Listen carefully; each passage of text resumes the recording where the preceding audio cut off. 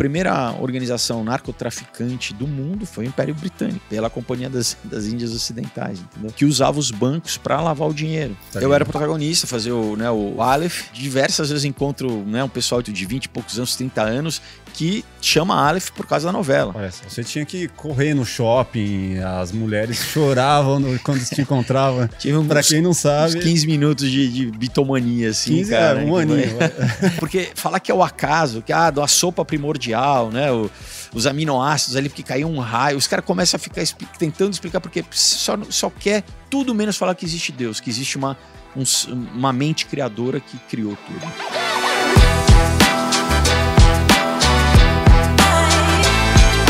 Fala galera, tudo bem com vocês? Meu nome é Carlos Maffa, estamos aqui para mais um episódio do Plugado Podcast. Hoje vamos falar de TV, cinema, de quadrinhos, de espiritualidade. Tenho ele aqui que tem muitos anos de experiência para abordar todos esses assuntos. Do meu lado direito, Felipe Fogosi. Salve, salve. Valeu, Carlos. Obrigado pelo convite aí. Muito bacana estar com você aqui no teu, no teu podcast. Parabéns. Eu Muito que bacana. agradeço.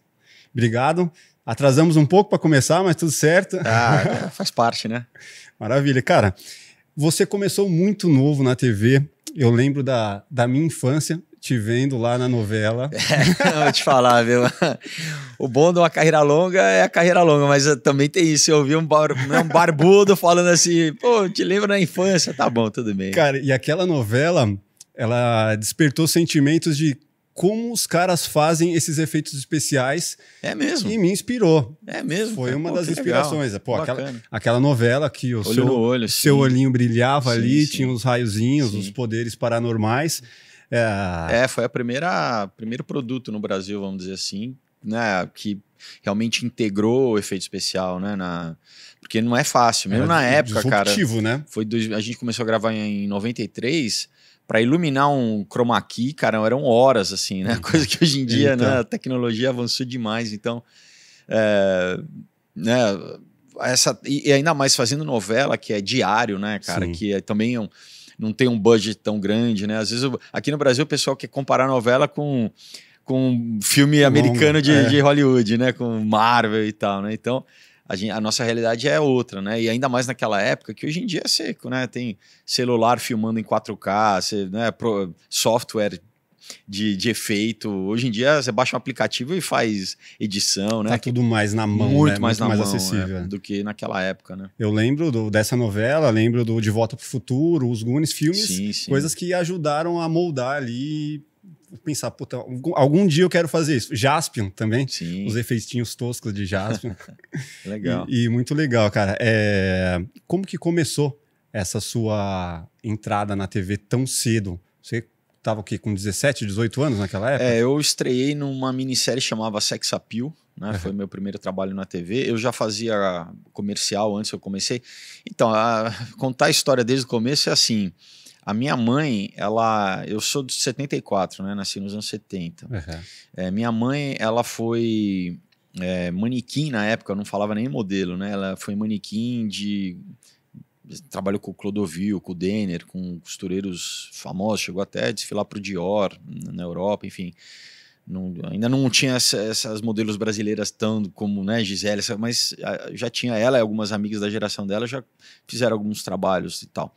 E meu pai era um cara de marketing, ele foi gerente de marketing de algumas empresas. E, e de pequeno, assim, é, volta e meia em trabalho, ela me levava. Tipo, Uhum. né, uma, uma gravação, uma, e, e às vezes tinha um produtor que via e falava, poxa, não quer deixar ele fazer um comercial, então Devia Quando- ser uma criança bonita, né? Que chamava atenção, é, era, era brincalhão, assim, Aham. né? desenrolado. É, e daí acho que com, tipo, três, quatro anos eu já fiz alguns comerciais. Fiz o lançamento do picolé de limão da Bom, eu fiz, eu tenho o, o pôster de ponto de venda, ainda eu tenho em casa, Que assim. da hora. Então, só que pra mim era brincadeira, né? Era essa coisa lúdica de estar num, num set de filmagem, ver. Mas pro universo da criança e. É a mesma coisa, você não, né, não tem diferenciação, só que é mágico aquilo, né? Câmera, gru, era muito divertido. E ainda mais na época que eram grandes produções, né? Tudo era grande É, produção. era película e tal. É. Enfim, então eu fiz alguns comerciais né, né, né, né, bem novinho, assim. Mas, paralelo a isso, cara, eu sempre tive uma. Esse que para mim é o, é o grande, né, o, o X da questão, assim. Eu sempre tive uma. Essa coisa da brincadeira, né? Do, né? Do, de, de, de, brincar com criar história, contar história, seja com né, bonequinho do, do Falcon, depois do Comandos em Ação, Comandos em do Guerra Ação. nas Estrelas, enfim. E, e ler quadrinho, né? Meu pai, ele, e meu pai lia quadrinho, né? Só que ele na época lia quadrinho adulto, né? Manara, lia Manara, para quem não sabe, é quadrinho erótico assim, que estava escondido inclusive, que era, né, pornográfico entre aspas, né? É, e ele, né, eu já pequeno, ele me, me dava, me comprava quadrinho, né? Eu às vezes não era nem alfabetizado, às vezes eu não era nem alfabetizado, mas ele já me comprava e lia comigo, então a gente tinha essa né, o quadrinho era uma coisa que servia para a gente ter um, um tempo de qualidade, assim, pai e Sim, filho, assim, sabe? Uma interação. E, e cinema, cara, eu sempre, né, na época que eu sou de São Paulo, tinha, ia no circo, ia no Holiday on Ice, ia no zoológico, mas assim, desses passeios que você leva os filhos, criança, o cinema era a coisa que eu mais gostava. E isso é uma época que não tinha videocassete ainda, né? Sim. Então, hoje em dia é muito fácil a gente consumir, né? Tudo tá na mão, né? No celular, eh, Streaming né? O YouTube. tipos, Na né? época não, você tinha TV e a outra forma de você né, ter acesso a conteúdo era o cinema mesmo. E, na, na- e, e até hoje, né? Eu espero que para essas novas gerações isso não se perca, né? A coisa de você ir no cinema, porque é uma experiência diferente, né? De você estar sentado naquela sala escura com aquela tela enorme. É uma imersão, o cheiro da focado, pipoca. Exato, é uma imersão do que em casa toca, né? O celular é muito mais fácil você parar ali, não é diferente. Abandonar também- no meio, né? É. ah, não gostei, é, não dá. E você tá com pessoas também, todo mundo ri junto, essa coisa da plateia, né? Sim. Que no teatro tem isso também. Depois, como ator, você vê do outro lado, né? A plateia reagindo como um corpo só, né? Assim. Aham. Enfim, então, obviamente que, né, eu era como consumidor, assim, né, é, não tinha nada elaborado, como eu tô falando agora, de, ah, vou querer fazer isso, né, como, como profissão. Mas, assim, eu sempre, então, assim, é, já na escola eu desenhava, fazia, né, historinhas usando os meus amigos da classe, é, tinha uns amigos do, né, eu, eu mudei para um condomínio é, e, e a gente tinha uns amigos, que todo mundo meio nerd, assim, de cinema, isso já com uns, uns 10, 12 anos. É, a gente pegava VHS, a câmera, né? Um amigo nosso tinha uma câmera que eu- tinha mais grana, ele tinha uma câmera e a gente ia é, refazer cenas de filmes que a gente gostava, ou a gente expandia, a gente criava cenas novas do- de filmes que a gente gostava. Cenas extras. assim. É, mas tipo o tudo Super 8, né? Do Spielberg. Exato. Na brincadeira, cara, Uhum. entendeu? Então, assim, era já era, essa, era, era essa- esse desejo de, de, de contar história, né? Legal. E, e essa, essa coisa foi ficando cada vez mais conforme, né? Eu fui ficando um pouquinho mais velho, foi ficando mais, vamos dizer, é, é, o, o desejo realmente de, de fazer alguma coisa com isso, né? Que é uma vocação. Quando eu tinha então o meu primeiro trabalho mesmo com carteira assinada, eu comecei a trabalhar, eu morava nesse condomínio que é o Portal do Morumbi, tinha a locadora em frente, tem um shoppingzinho ali do Portal, tinha uma locadora. E eu comecei a trabalhar, assim, eu, eu- todo dia eu ia na locadora, né? Eu batia ponto na locadora. Porque pra mim, cara, era cinema, era diariamente eu via um filme, assim. Então, eu, e aí... Você conseguiu um trabalho na locadora Então, pra vivenciar Não, eu, esse- eu era amigo da, da- do- do- do- do- dos balconistas, da gerente, porque todo dia eu batia ponto lá. Daí, um dia, um, um, dos balconistas saiu e a gerente falou: Meu, você não quer trabalhar aqui porque você vem todo dia, então você ganha alguma coisa, Sim. né? Então, eu com 14 anos tirei minha carteira de trabalho, vinha, né, estudava de manhã, chegava lá e eu ia, trabalhava à tarde, que já foi muito bom, que me, também me deu uma. Começou a me dar uma ética profissional de né, entender o que que era trabalhar e ter Responsabilidade. responsabilidade. é. E que depois até me ajudou, porque a gente, né, meu- meus pais tinham separado, a gente quebrou eh, de grana, assim, e aí eu comecei a ajudar ah, em casa mesmo, né, a trabalhar mesmo. É, mas eu digo que foi minha primeira faculdade de cinema, né? Depois eu fiz faculdade na, na FAAP e tal, mas com essa idade, 14, né? Depois eu, eu trabalhei até os 17, assim, e trabalhei em locadora, né? Ah, Então, tipo Tarantino, então. é, é meio, né, meio, ah, tipo, né, é meio presunçoso, assim, então, mas é isso, querendo ou não, cara, por quê? Porque você, é, começa a ter uma exposição a outras, a outros, outras cinematografias que não só que geralmente a gente consome, que é de Hollywood. Ainda mais na né? época, sessão da tarde só. né? Exato. Então aí eu comecei a né, ver um, um, sei lá, cinema italiano pela primeira vez. Fui ver né, Vitória de Sica, é, Antonioni, Fellini, foi ver cinema francês, né, Godard, Truffaut. Ganhando bagagem. Ganhando né? bagagem, né, enfim, japonês. Então eu gosto muito do. Eu não tenho preconceito. Para mim, é, tem filme bom e filme ruim, sendo comercial ou sendo cinema de autor, né? Então, independente. Mas eu fui, eu lembro que né, nessa idade, por exemplo, eu vi a caixinha ali, na época era caixinha, né? Porque era videocassete pra galera mais nova aí, tinha uma, era um tijolo preto com fita, enfim, Sim, né? que tinha que rebobinar. Tinha que rebobinar, e daí eu vi ali Cidadão Kane, assim, eu vi aquela capa e, e eu ficava até meio assustado. Falei, cara, será que eu vou conseguir entender isso aqui, sabe? Assim, a obra tinha um peso ali que eu. E aí você se arrisca e vê uma coisa fala, não, cara, eu entendo. Aí eu, ah, vou ver um Vim Vendors aqui. Não, eu. Entendeu? Você começa a ver, é um tempo diferente, tem uma edição diferente, você começa a entender né, que existem, que como expressão, cinema é, é bem né, rico e, e, tem um universo muito maior do que, do que você conhecia né, inicialmente. Então, e aí chegou nesse momento que eu, que é um, né, para mim é uma, é um meio que eu marco, assim, é que quando eu, eu falei para mim, poxa, eu, eu quero voltar a fazer comercial, eu quero, né, porque tinha feito bem na infância e daí eu né, tinha, não tinha feito mais. Só teve o gostinho ali, né? É, e, e eu falei, não, agora eu, eu quero, eu quero, de alguma forma eu quero estar tá do outro lado, assim, né? E eu fui fazer um curso é, na Célia Helena, e no Teatro Escola Célia Helena, na época tinham poucas escolas né, de teatro aqui em São Paulo e era um, já era um curso profissionalizante na época, né? Era lá na Liberdade, a Célia Helena era viva ainda, né? Para quem não sabe, a Célia Helena foi uma grande atriz aqui do Brasil, né? De teatro, enfim, esposa do da Raul Cortez, mãe da Lígia Cortez. E saía do Morumbi para a Liberdade. É, eu pegava dois busão.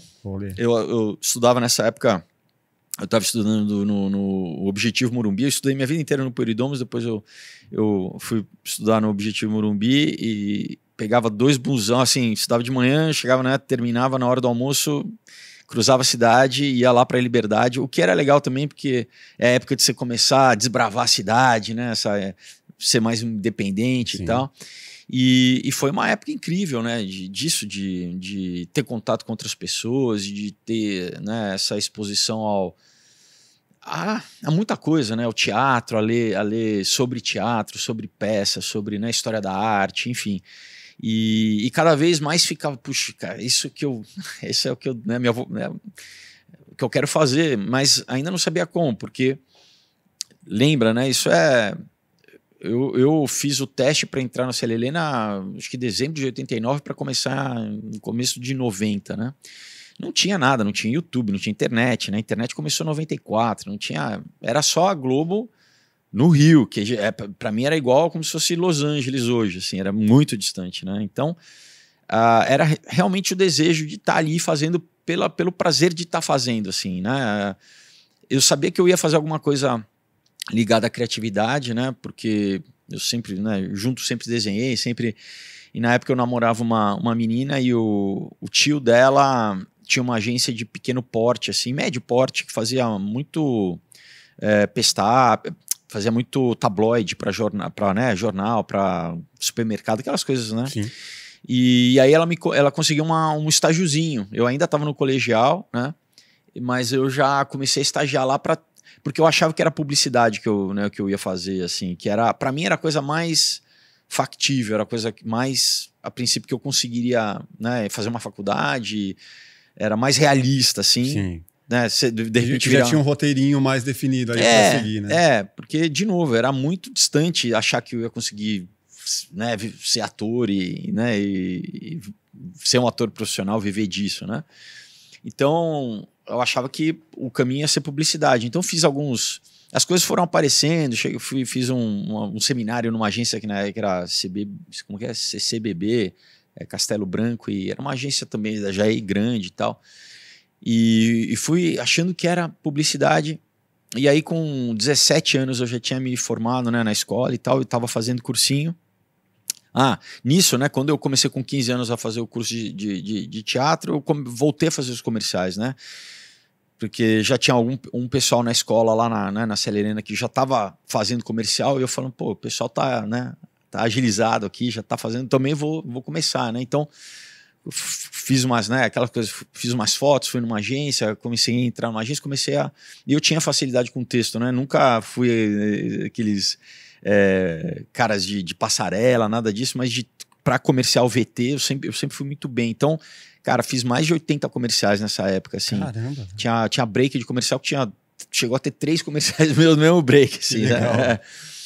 Inclusive, depois eu vim saber que, né, na, na é, quando eu fiz, né, depois de ter feito, já tava, já estava trabalhando na Globo, o Alexandre Avancini, filho do Walter Avancini, me, me falou, pô, a gente, quando foi fazer o teste para Sex Appeal, a gente já tinha visto né, os teus comerciais e fomos na agência falando, não, a gente quer que esse é. garoto faça o teste, né? Porque a gente já tinha visto o teu trabalho. É, né? não, se destacar na publicidade. Não tinha a menor começa... ideia, né? É, não tinha a menor ideia. Mas enfim, aí com 17 anos eu estava completamente focado no cursinho, né? Já aquela época de terminou a escola, né? O cursinho, cursinho para prestar vestibular, né? Sim. né? E aí a minha agência aqui de São Paulo na época, que era a L'Equipe, ela falou, pô, a, a, Globo tá vindo para São Paulo fazer teste com os atores de São Paulo para uma minissérie que eles querem, gente com cara de São Paulo, né, sotaque e tal. Você quer fazer? E, cara, para mim era, era uma coisa que eu já tava meio que já tinha deixado um pouquinho de lado, porque estava focado na, na, na, faculdade, né? Era, de novo, aquele sonho impossível, né? De repente, não, claro, meu. E aí, naquela semana ali que antecedeu o, o, o, teste, cara, eu mal dormia direito, assim, de tanta empolgação, né? Do, sim, e aí, é, fui fazer o teste que foi lá na a Globo, na época, era só lá na, no centro, né? Na Marechal Deodoro. jornalismo. Lá, jornalismo. Eu trabalhei do lado, ali na Rosa e Silva. Ah, é? Então, é, depois que foi para Berrine e tal, e aí cara, tava São Paulo inteiro ali, né? De, de todo mundo que todo mundo que eu cruzava em, em teste tava lá. Tinha, sério, tinha uns 500 pessoas assim, Caraca. cara, tava lotado assim. E aí eu fiz o teste, cara. Quem dirigiu o teste foi o Ricardo Oddington, que foi o diretor. Né? Eu nem sabia que não sabia quem era, não sabia que ele era o diretor, enfim, né? Que ia ser o diretor da, da minissérie. E, cara, foi isso. Eu fiz o teste na hora. O cara falou assim: vai tranquilo, assim. E eu senti que ele tava querendo falar alguma coisa. E, de, cara, eu, eu, eu, fui correndo do, do, de lá do centro de São Paulo até. Eu tava morando em Moema na época. Eu fui até Moema correndo de tanta Caraca, empolgação, cara. Subi a consolação correndo assim. Já pressentiu ali o que ele é, cara, deixa e, já foi pra é, isso. E daí na semana seguinte me ligaram, falaram, pô, passou e tal. E, cara, e foi. Aí foi, teve essa outro, outro marco, assim, de ir pro Rio. É, cara, né? Foi com a sua mãe? Não. Meu, a gente na época ainda tava sem grana, né? Fiquei ali, morei de, de favor ali, fiquei de favor ali no Rio, pegando busão, me virando, né? Inclusive porque o salário era bem, bem baixo, assim, se bobear era próximo do salário que eu ganhava na locadora. Mas a sua fama era gigantesca, Não, né? não tinha fama nenhuma ainda, né? Porque eu, eu, eu tinha feito só alguns comerciais que quem me conhece, quem me conheceram a galera da escola. Meus... Esse teste foi para entrar na novela? Foi para entrar na minissérie Sex Appeal. Ah, na minissérie, entendi. E, é, e a minissérie você grava ela toda antes, não é como novela Pode que crer. você já vai gravando e a novela vai sendo exibida, né? A, a minissérie você grava ela inteira. É, zero fama. Zero fama. não, que por um lado até foi bom, assim, entendeu? Porque para mim era completamente concentrado no, no trabalho, né? Mas é isso, tava lá no Rio pegando busão e, né? Mas, cara, era a, a, a alegria era é difícil de descrever, porque eu tava. Era um sonho virando. Eu falo, cara, eu tô sonho. fazendo aquilo que eu, que eu nem imaginaria que eu pudesse fazer, né? Tá em set, chegar, né? E, e tá, e tá contracenando com gente que, que você via na TV, assim, né? Você, as pessoas te tratando como, como colega, assim, né? Cara, é, foi incrível, foi um tempo né, incrível. E essa minissérie lançou toda uma geração de atores, né? A Luna Piovani, Camila Pitanga, Carolina Dickman, Danielle Winitz, uh, quem mais? Todo mundo começou, o Nico Puig, todo mundo começou junto, né? Nesse, nesse, e, foi, e realmente era uma minissérie muito legal, assim. E eu fazia um drogado, cara, um cara bem. Uh, que tinha um núcleo principal que era sobre uh, o universo da moda e das modelos, né? No Brasil, uhum. nessa época, bem. Tava já bem, né, muitas meninas concurso de modelos assim, né? E mas o meu lado era um lado meio que pobre assim do, da, da novela, que, que é mas, é meio mas meio, exigia do meio papel. pesado. Não muito. É legal isso. Porque era isso, era o lado de São Paulo é, pré-Cracolândia, mas já abordava a questão de droga. Meu, meu personagem. Boca do lixo. Boca do lixo, assim, é. A gente filmava tudo. tudo fizemos, fizemos cenas à noite no Minhocão ali, porque esse era o universo do meu personagem. Sim. E, e cara, e, e foi tão. Né, toda a minissérie, mas graças a Deus, né, gostaram muito do meu trabalho e tal, e daí surgiu o convite para fazer a, a novela Olho no Olho, que aí foi outra outra coisa, porque uma, né, a, a minissérie passa às 11 da noite, né, é um, um público menor, um né? público menor e até não é o, o público das adolescentes da época, né, que a novela das sete realmente é para um é, e na época é isso, era uma, era, era uma audiência consolidada da Globo, né, cara, que, que era de, Imbatível, né? Imbatível, assim, era tipo 80 pontos de BOP, né? E não tinha outras alternativas. Hoje a gente sabe que é né, muito mais Sim. pulverizado, tinha né? que levantar para mudar no seletor, é, né? Ninguém é, mudava. É, já, já tinha controle na época, tinha. mas, mas era isso, né? E, e, e todo mundo assistia, né? Então, aí a novela, cara, realmente foi um foi uma, um acontecimento cultural, assim, não estou né, supervalorizando a questão, mas marcou uma geração, por muito pelo que você falou, da, da, do ineditismo dos efeitos especiais numa novela, né? Sim. Que explodiu a cabeça da, da galera naquela época. E. É, não sei, cara. Você, era um protagonista. Eu era né? protagonista, fazer o, né, o, o, o Aleph, né? Que ah. inclusive tem Hoje eu, eu, diversas vezes encontro né, um pessoal de 18, 18, de 20 e poucos anos, 30 anos, que chama Aleph por causa da novela. Literalmente, entendeu? Como a Globo dita, né? Verdade, cara. Porque né, daí vem falar, pô, minha mãe, né, você, é, minha mãe gostava da novela e tal. E eu sei, porque não é um nome comum no Brasil, Sim. né? É um nome é, judeu, né? Hebraico, assim. E e você tinha que correr no shopping, as mulheres choravam no, quando se encontravam. Para quem não sabe. Uns 15 minutos de, de bitomania, assim, 15, cara. É, um aninho. é, foi. Não, mas é isso. Daí teve essa experiência muito, muito louca, assim, de. Né, ainda jovem, eu tinha Forma 18 pesada, né, anos, né, assim, é, de. de cara, sair correndo mesmo. É, é, uma, é uma, tem várias causas, assim, engraçados, assim, de e a molecadinha hoje não faz ideia, né, cara, do, do, que, do que era a época, como que era, não. a diferença é. que era você ser o protagonista da novela das nove naquela Sim. época, do que é hoje, que tá Sim. a audiência toda disseminada, né, cara? É, é, eu acho que assim, é, tem tem para quem é muito tipo, sei lá, muito mega star assim de música, né? Ainda tem essa, eu acho que esse frenesi que é um, um, pouco da idade também, né? O adolescente tá nessa época da, né, de é. ser fã e de ter. Mas, por exemplo, hoje em dia, né, em rede social, volta e meia tem uma fã minha que posta uma foto de capricho, de querida, sabe, querida, essas... e aí tem um monte de mulheres hoje, né, que já, poxa, eu tinha também, e hoje em dia não tem nem isso mais, por exemplo, essas revistas, então tinha todo um ecossistema em volta dessa coisa da, né, da TV e da, né, da fama, de Contigo, né? Revistas que, que, que, vamos dizer, alimentavam essa, essa questão, que hoje em dia é diferente, né? Mudou. Hoje em dia é o youtuber, é o, é o, é o Instagram, é o, né, o cara do TikTok, podcast, é. né? Do TikTok. Então mudou muito, assim, e é muito mais direto com o próprio criador, assim, né? Não tem. Mas antes tinha essa. Então você tinha a emissora que lançava, daí você tinha né, as, os outros veículos que re, explicavam aquilo, né, falavam o, o, o, conteúdo era sobre a novela, né? Então, então hoje em dia ainda tem alguma, sei lá, um programa vespertino ali, num programa de feminino que fala de fofoca, mas Sim. é bem diferente em escala, vamos dizer, do que era naquela época. Aquela, aquela época era uma coisa massificada, assim, né? A fama daquela época é, se equivalia ao valor que você recebia? Não. Não? Porque muita gente fala, não, é o, é o protagonista, é, tá milionário, né? E não. Cara, hoje em dia eu acho que é muito mais fácil monetizar, porque, de novo, né? Com, com publicidade. Com publicidade, porque você tem o teu canal, os teus, as tuas redes sociais e você fecha, né? Então, sim, né? É você. Eu fiz muito, na época a gente chamava jabá, né? Fiz muito baile de debutante, viajei o Brasil inteiro algumas vezes ah, fazendo baile, isso, né? mas, é, mas é uma coisa que, cara, é cansativo, né? Cansativo no sentido de você grava, você é protagonista de uma novela, cara, você grava muito, você grava diariamente, né? Mais de oito horas por dia e você chega em casa tem que decorar pro dia seguinte, então é desgastante fisicamente, assim. E daí, o teu final de semana, né, que é para descansar, você vai pegar seis horas de voo para ir pro entendeu? rodar o Brasil inteiro. Às vezes era isso. Eu ia no sábado para Fortaleza, no domingo eu tinha que estar no Rio Grande do Sul, assim. Entendeu? E às vezes a gente fazia boate também, fazia três, quatro, cinco boates numa mesma noite, passava a madrugada viajando pelo interior de vários estados, né? ou pelo interior de São Paulo, ou pelo Que que é interior do Paraná. boate?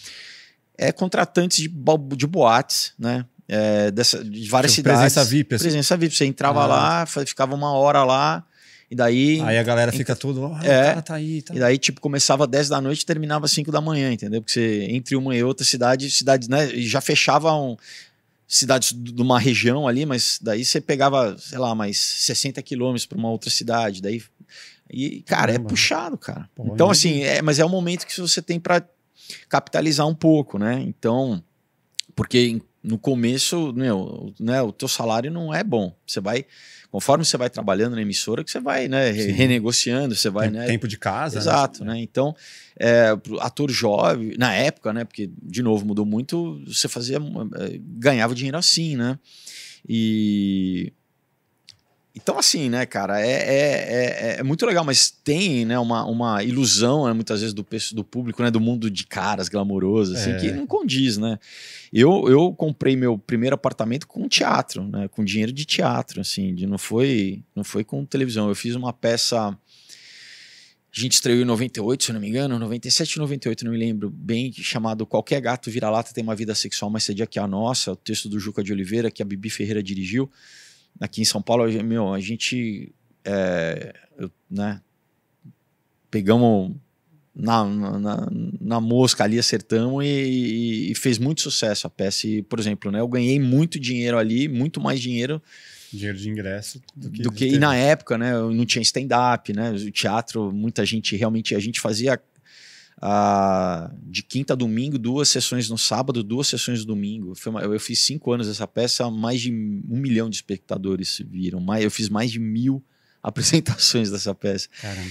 Então, é, eu acho isso também importante na carreira do ator, né? Você ter uma, uma, uma pelo menos uma peça de uma, com uma carreira longa, assim, né? De você ver como é fazer um, o mesmo texto uma vez, duas vezes, três vezes, E é um quatro vezes, processo 500 totalmente vezes, diferente, né? 700 vezes, mil, e ver como manter isso novo e como você realmente vai descobrindo novas coisas ao longo, né? Porque as pessoas, ficam, poxa, né, se fazer mil vezes a mesma coisa não é, não- porque tem um exercício da repetição, mas também ao mesmo tempo você busca uma uma, uma perfeição meio inexistente, um, né? um, um ideal. Todo dia você tem um padrão da noite anterior do que funcionou, que você tenta reproduzir no, no De dia reações seguinte. que você já sabe que É, aquele é, momento vai ter esse exato. tipo de reação, né? E, e é muito legal, assim. Você, na Globo, você fez é, outras novelas até chegar na Record. Como que foi essa, essa transição? É, eu fiz, enfim, então, daí na, no olho no olho, daí eu, eu fiz um contrato de um, né, de longo período, né, longo prazo, e fiz várias novelas. Eu, anos, os anos 90 todo, basicamente, eu fiquei na Globo, né? E, Bastante tempo de casa, né? É, e aí eu tinha, sempre tive, né, esse desejo de. Eu comecei a trabalhar, num, eu não, não tinha feito a faculdade, né? Então eu ainda queria fazer a faculdade, né? Não Então teve a conclusão. não tive a conclusão. E aí eu. ah, quando foi em 90 e. Exato. é, terminou em 98 o meu contrato. Aí eu voltei para São Paulo, tava, comecei a fazer a peça aqui. Aí eu fiz uma primeira novela fora da Globo, que foi na Record, mas na época era a Record ainda numa fase anterior a essa fase mais recente, né? É Uma, uma novela chamava Vidas Cruzadas, que era a gente gravava aqui na, na Barra Funda, né? Que a gente gravou muito no Recife também. As externas todas eram no Recife, em Porto de Galinhas e tal. E eu tava fazendo a faculdade e tal, e paralelo eu tava fazendo a faculdade de cinema na FAP e tal. E, e aí é, eu também surgiu a oportunidade de eu estudar, de fazer é, um, um tempo né, do, do curso lá na, na UCLA, em Los Angeles. E aí eu fiz, morei dois anos lá, de 2001 a 2003. É, fazendo a faculdade, que também, cara, foi incrível, tem mil histórias ali. Eu cheguei dia 9 de setembro de 2001, dois dias antes do atentado, muita coisa ali, enfim. Quando eu voltei, eu voltei, fiz ainda uma novela no SBT. Foi a primeira novela que eu fiz no SBT, chamava. É, Jamais, Jamais Te Esquecerei. E voltei para Globo. E aí eu fiz uma novela que chamava Começar de Novo, é, em 94, 2004. E, e daí, a, logo em seguida, em 2005, fiz uma novela que chamava é, Os Ricos Também Choram, no SBT. E aí, logo em seguida, é, estava começando esse núcleo da, da Record, que é o que está meio que até hoje, que, quando muita gente da, da Globo foi para a Record, né? Foi toda uma uma, uma tanto de equipe técnica quanto atores que fizeram a primeira novela lá que foi Prova de Amor, que foi um sucesso, que eu cheguei a fazer também, eu entrei na metade da novela. E aí já fiz a, a que foi o, o maior case da época, que foi a trilogia dos Mutantes, Os né? Mutantes. É. Então, tem duas gerações aí em décadas diferentes que efeitos de efeitos especiais, né? De essa pegada bem mais pop, né? Menos Sim. melodrama. Então, olho no olho nos anos 90 e os Mutantes nos anos 2000, que também uma geração toda que era ou muito pequenininha, que eu ainda não tinha nem nascido na Olho no Olho. É a, a novela marco para eles da infância é Os Mutantes. E, e, teve, cara, álbum de figurinha, teve chiclete, coisas que não, não é nem comum é, no Brasil um ter. absurdo, né? É. Não, não era nada comum para a época você ver dinossauros, é. sapos gigantes. Umas é. coisas que viraram até meme. Viraram, né? né? Claro, tem uma tosqueira, né? Mas uhum. é, meio do, também da, da própria linguagem ali, Mas né? produzir aquela quantidade de coisas. Né? Cara, né? imagina você que faz. Três né? temporadas. Você sabe o tempo que leva para renderizar, e mesmo ainda, né, nos anos eu conheço uma galera que, que fez é, a pós-produção de, de Mutantes. Os caras falaram, cara, é linha insano, de produção, insano, tem que fazer, é. tá bonito. Tem coisa que não tá, mas vamos aí, tem que fazer, tem. porque amanhã tem mais Exato. e depois vai ter mais. É, a novela mais. é assim, né? Você tem um capítulo por dia que tem que ir para e tem que ir ao ar, né? É. Então é uma corrida contra o tempo, sim. Né? A primeira até teve um acabamento melhor, né? Sim, que a, era a Caminhos do, chamava Caminhos do Coração. Na verdade, não tinha ideia de ser uma trilogia, né? Conforme fez tanto sucesso, foi a primeira novela que bateu a Globo no horário nobre, né? Quando Caminhos do Coração. Uhum. Aí a Record encomendou para o Tiago Santiago, que era o autor, falou: "Meu, a gente precisa né, estende isso aí. Então, daí começou uma. fazer a gente, render, daí a né? gente chamou de uma outra temporada que foi Mutantes Caminhos do Coração, né? E aí também na, na, na, última parte foi Promessas de Amor, Caminhos do Coração, que foi a terceira parte. Ao todo deu mais, acho que deu mais 650 episódios, cara. É, e, e, eu, e eu só e a outra uma atriz, a Patrícia de Jesus, que fizemos as três novelas juntos. Ah, então, cara. do começo ao fim. quase três anos, cara. Também foi muito puxado, muito cansativo. Teve dia da gente gravar 17 horas, cara. É, porque.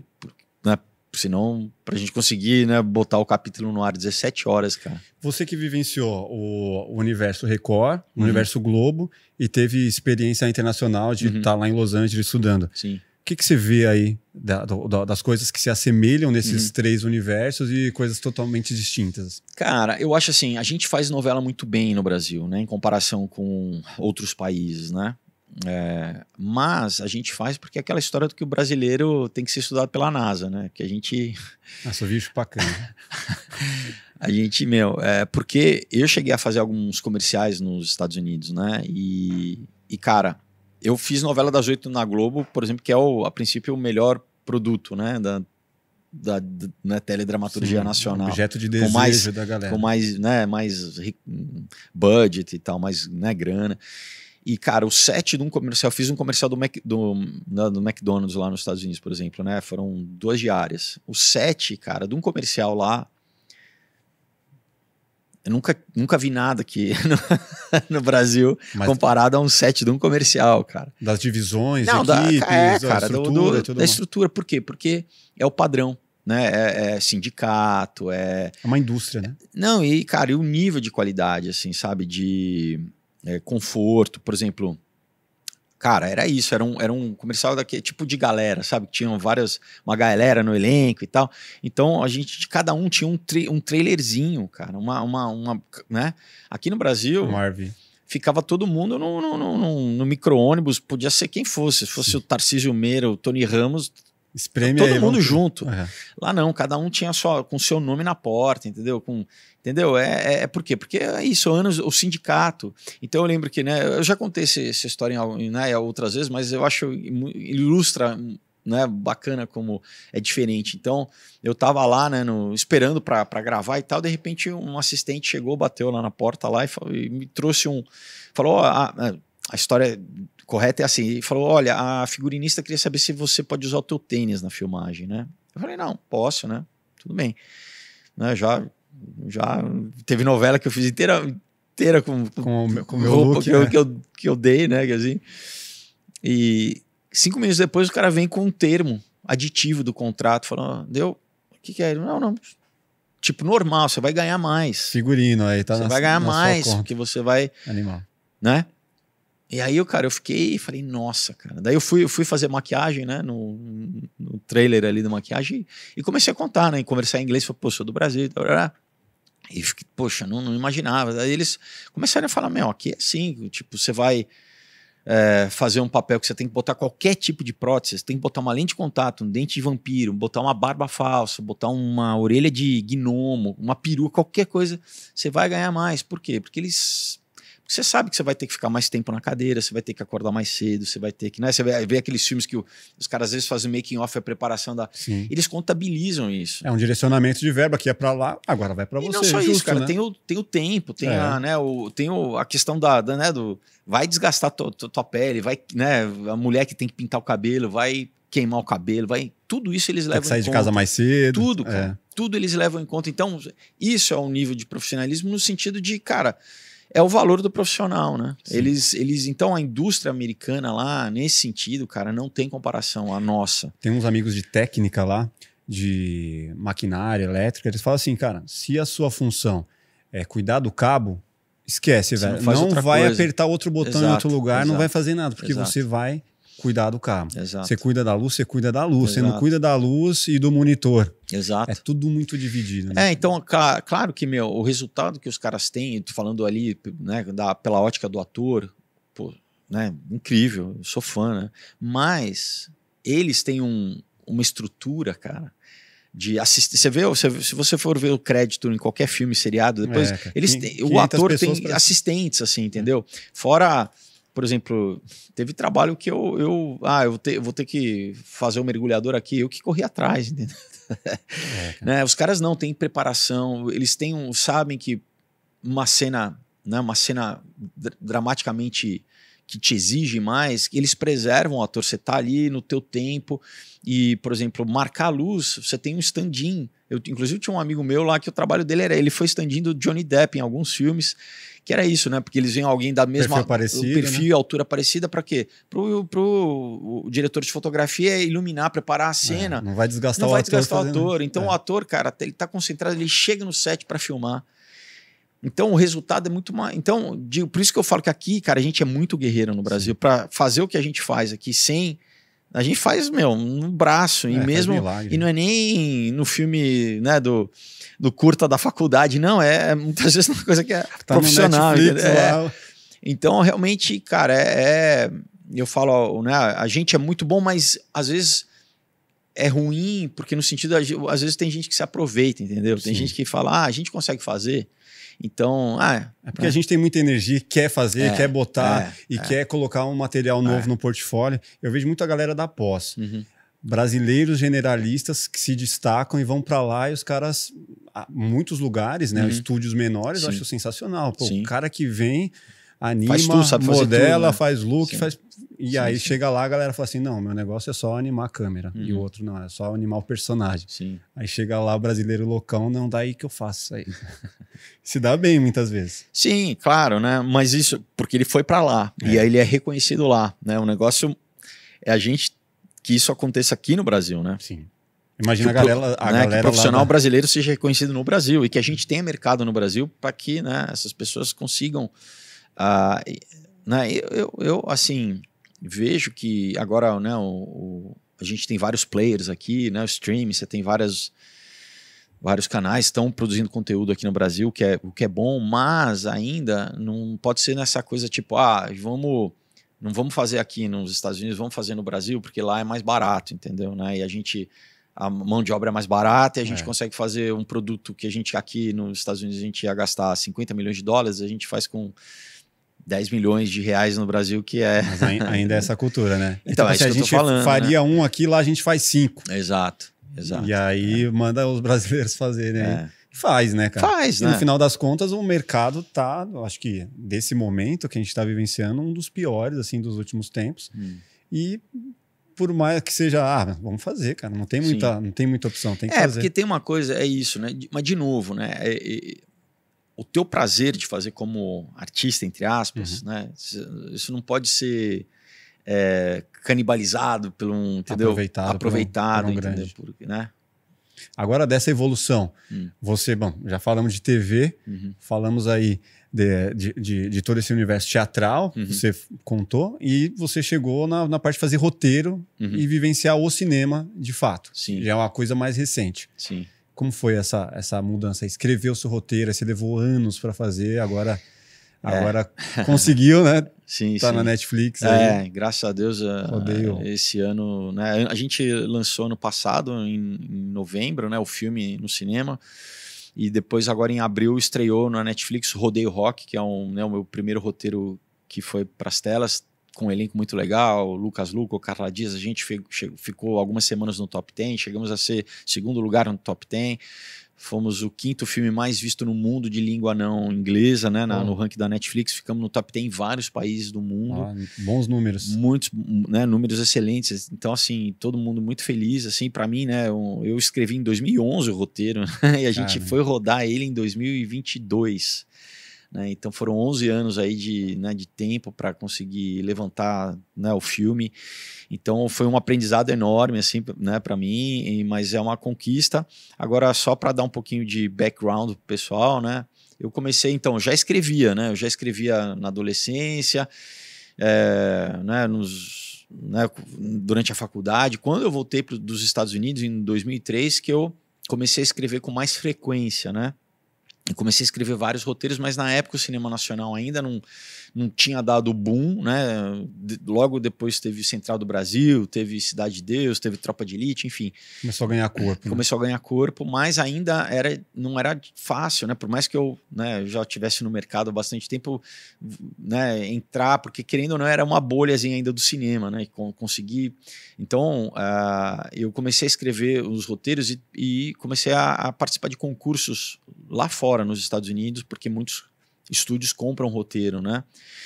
Mas eu vi que não era muito bom, muito um caminho muito bom, porque às vezes tem muita gente que tem acesso ao teu material e tem negócio de plágio e os caras falam, ah, o cara é, sei lá, é lá do Brasil, então, né? Vamos pegar essa ideia aqui é, e uma adaptada. Então, eu, daí em 2009, eu, que, pela primeira vez eu pensei, falei, poxa, por que eu não pego os meus roteiros e adapto para quadrinho? Porque assim, né? Já tem muita gente que faz o caminho contrário, pega os, né, os quadrinhos quadrinho, e vira cinema, porque quadrinho basicamente é um proto-cinema, né? Um storyboard pronto ali. Eu, e aí, só que ainda eu não sabia muito bem como produzir, né? Não tinha também ferramentas né, de, de, de, de a monetização como financiamento coletivo, né, para levantar também uma grana, porque querendo ou não é muito mais barato que cinema, mas ainda é caro, né, para produzir também. Muitas telas, é. muito trabalho. E, e daí então, em 2014 eu lancei meu primeiro, que foi o Aurora, que foi uma, é uma ficção científica que depois acabou virando uma trilogia que, né, eu levei sete anos aí para, mas foi o primeiro que eu lancei que escrevi como, né, como roteiro de cinema e aí, cara, foi tão legal, assim, é, foi a recepção foi tão grande, as pessoas gostaram tanto que eu comecei a lançar quase que um por ano, assim. Depois eu lancei um, em 2017 um suspense com terror psicológico chamado Comunhão. Em 2018 eu lancei um chamado Um Outro Dia, que é um que aborda droga, aborda, vamos dizer, tudo que meio que tenta pegar o jovem, né, quando entra na faculdade.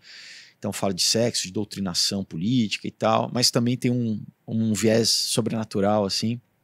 E essa história, na verdade, eu tinha já ganho um prêmio em 2000, no ano 2000, com um concurso nacional de dramaturgia promovido pelo Ministério da Cultura, mas como teatro. Então eu adaptei do teatro primeiro para roteiro de cinema e daí, quando eu já tinha lançado dois quadrinhos, eu adaptei para quadrinho. 2019 eu lancei o Caos, que é a continuação do Aurora, segunda parte. 2020 eu lancei um chamado Knock Me Out, que é um é um romance que se passa no mundo da, da, do MMA, das artes marciais. Eu faço uma homenagem aos filmes dos, dos anos 80, como Rock, Karate Kid, Legal. Grande Dragão Branco, né? Quem curtiu Cobra Kai se amarra, enfim. Sim.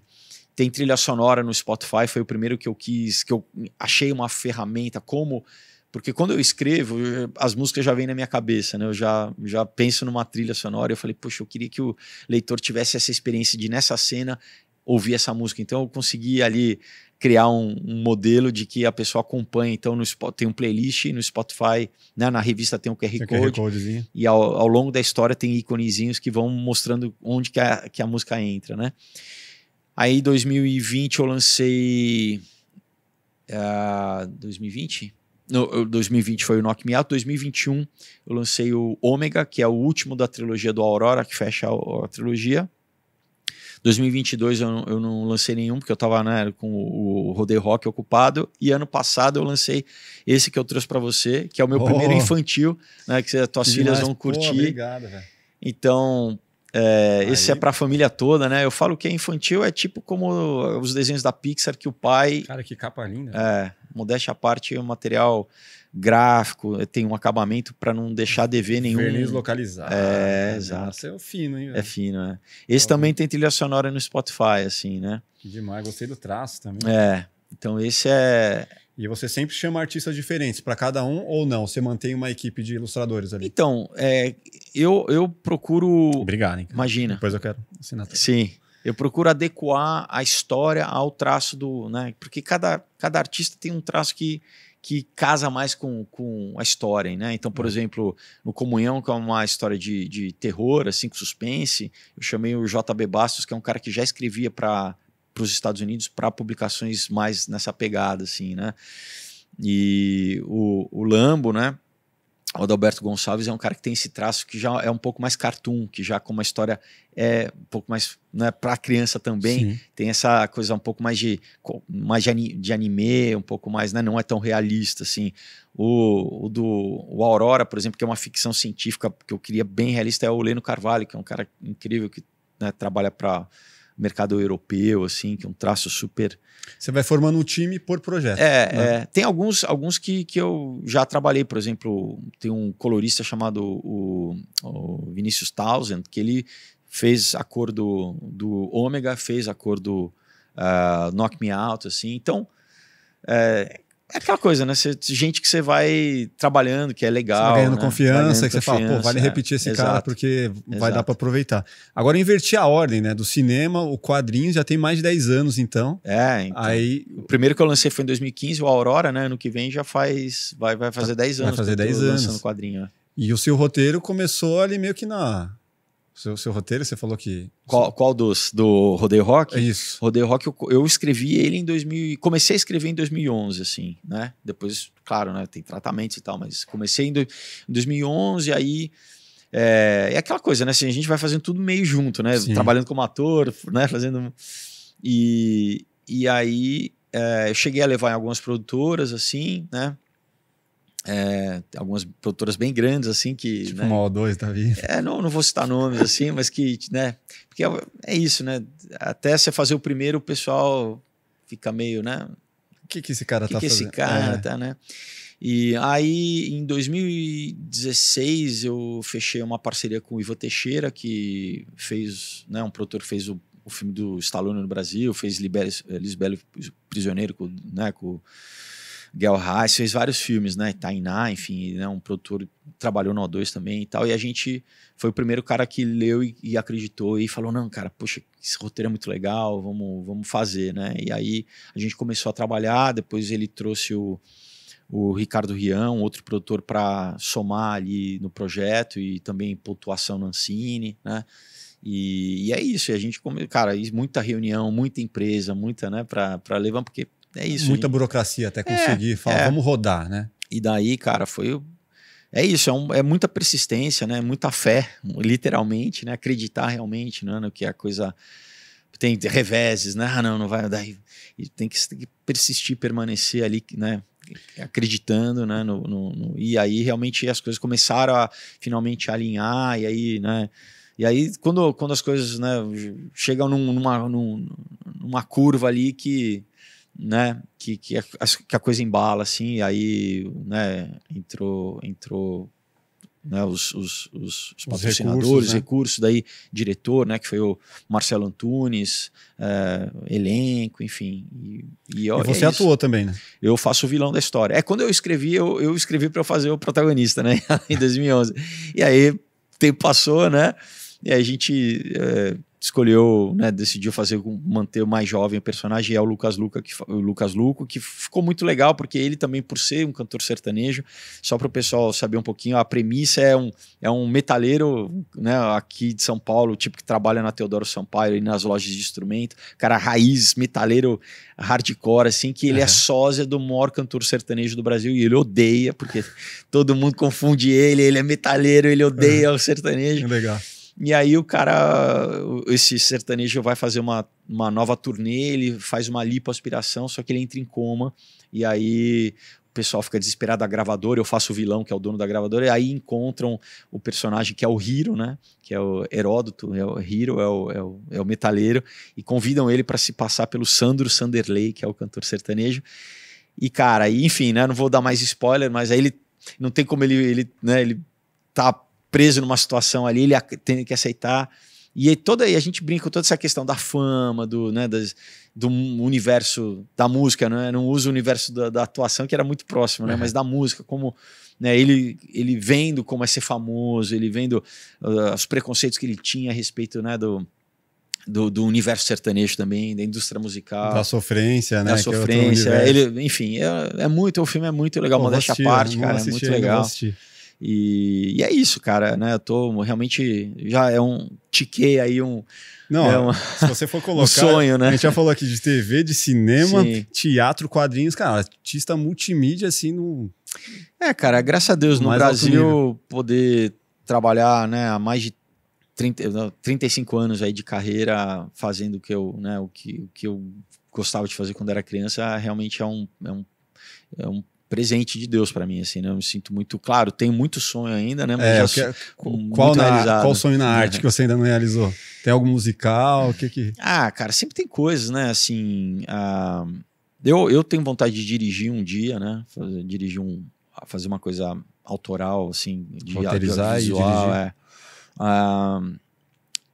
eu gostaria, né? Eu quero que os meus quadrinhos virem filme também, assim, né? É, é, quero né, já tem alguns caminhos aí de eu colocar eles no mercado internacional. O Aurora eu consegui lançar no, no, em Portugal, né? Chegou, a gente chegou a lançar lá, mas eu gostaria que saísse em língua inglesa. Enfim, tem bastante coisa aí, né, para Pra, pra Tem fazer. bastante chama pela frente ainda, né? sim, né? Sim. Agora, uma coisa que eu, eu fui pesquisando a sua história, cheguei no seu YouTube uhum. e vi um vídeo que você, você, cara, você fala sobre vários vídeos, fui lá no Em Alta e vi um dos temas polêmicos que você abordou lá sobre, sobre globalismo, uhum. nova ordem. Uhum. achei sensacional o, o, tanto de audiência que deu. Uhum. O que, que mudou de seis anos para cá que você falou sobre aquele vídeo? Uhum. Você ainda acredita naquelas teorias dessas desse, da dominação, uhum. China? Uhum. É, ainda é isso? Ou você já, já mudou sua, sua Cara, visão? É uma coisa Tem que... uma visão muito espiritualizada, né? Da... É, são coisas diferentes. A gente pode eu sempre, eu sempre quis entender o mundo, né? Sempre quis entender como que as coisas funcionam, né? E, e cara, quando você consegue, começa realmente a estudar isso, né? É, tem muita literatura, né? Que isso não é dito, né? Não é, não é, né? Não é ensinado, mesmo em universidade, né? Então eu tive que ter acesso à literatura de nível acadêmico comprando nos Estados Unidos, comprando literatura lá, né? Porque não é publicado aqui no Brasil, assim, né? Alguns, muitos, inclusive livros esgotados, assim, livros caros, assim, que você acha em sebo, livro de quase mil dólares, assim, uhum. entendeu? Mas por quê? Porque é uma informação que é, te emancipa, né? Te literalmente e, e muitas vezes quem né, é uma, uma forma de controle social é você não né, fazer com que a população não tenha acesso né, a esse tipo de informação assim. Então ah, e como muitas vezes né, esses grupos de interesse né, eles têm controle né, midiático eles também não ah, uma forma deles ah, vamos dizer se esconderem, né? É uma, é, se esconder a céu aberto, vamos dizer assim, é você taxar de qualquer, qualquer informação ou narrativa que vá contra você como teoria da conspiração. Né? Então, qualquer coisa que não seja a narrativa oficial comprada por eles mesmos vira teoria da conspiração. Né? E então, não, claro, e daí muitas vezes eles promovem, porque é uma coisa que, enfim, né, se for estudar a CIA, operações psicológicas, é, é uma coisa de contra-informação, é você criar realmente coisas estapafúrdias, como, sei lá, terra plana, né, que é uma operação da CIA, né, é, para botar tudo no mesmo balaio, entendeu? Então, se, ah, se você for falar a respeito, por exemplo, do Federal Reserve, de quem, né, quem construiu o sistema né, financeiro pós, né, pré, na verdade, pré Primeira Guerra Mundial e depois pós Segunda Guerra Mundial com né, instituições como o Banco Mundial, como o FMI. Ah, então te coloca no mesmo saco como terraplanista. Ah, tudo é terraplanista. Não, é, obviamente não, entendeu? Porque não, a gente não querem que você investigue, que você fale, que você tenha consciência disso, né? De, de quem controla né, a economia no mundo, de quem, né? de, de, de quem financia a guerra, por exemplo, né? historicamente. Entendeu? Acaba virando um assunto. É, te tá achando de maluco, né? É, ah, chapéu de alumínio e tal. É. Né? Por quê? Porque é isso, né, cara? É, grupos de interesse, né? Quem, né? quem é o Clube de Roma? Quem é o Bilderberg? Né? Quem, quem são essas instituições? Né? Agora, mais recentemente, o pessoal ouve um pouco falar mais do Fórum Econômico Mundial, mas tudo isso tem uma linhagem, tudo isso tem uma historicidade. Né? Muitos, muitos deles são membros de. Né? Quem é, o que é a comissão trilateral, né? Quem criou a comissão trilateral? Qual, qual é o papel de influência, né? Que, então, por exemplo, né, eu citei a comissão trilateral, você pegar o, o, o governo Biden, cara, o, o chefe de Estado, né, o Anthony Blinken, o, todo mundo é parte da comissão trilateral, os chefes de gabinete. Então, que instituição é essa que as pessoas, o eleitor não sabe, né? Tudo bem que aqui a gente está no Brasil, estou falando alguma coisa não sabe, mas nem o eleitor muitas vezes americano sabe, né? E como que aqui no Brasil a gente sofre influência desses órgãos, né? Como a gente aqui é atingido por um órgão como a Open Society do Soros, né? É, como que eles determinam política pública no Brasil, entendeu? Então é isso que essas, esses vamos dizer, esses bastidores do poder aí que muitas vezes a gente não sabe. Ah, então quando tem uma, uma pandemia que existe uma, agora a AstraZeneca acabou de falar que ah não, não, não retiraram as vacinas de, né? você teve o CEO da Pfizer re respondendo no Parlamento Europeu falando que ah a gente não sabia realmente se era efetivo. Então, peraí, você determina uma política pública durante anos que toda a população é forçada, é mandatório. As pessoas vão perder emprego se não tomarem uma medicação não testada. Aí você é louco, você, você, né, você é um, é um negacionista, e aí. Aí fica aí, politizado o direito aí é óbvio, Brasil, é, né? óbvio, é. é óbvio que politiza, né?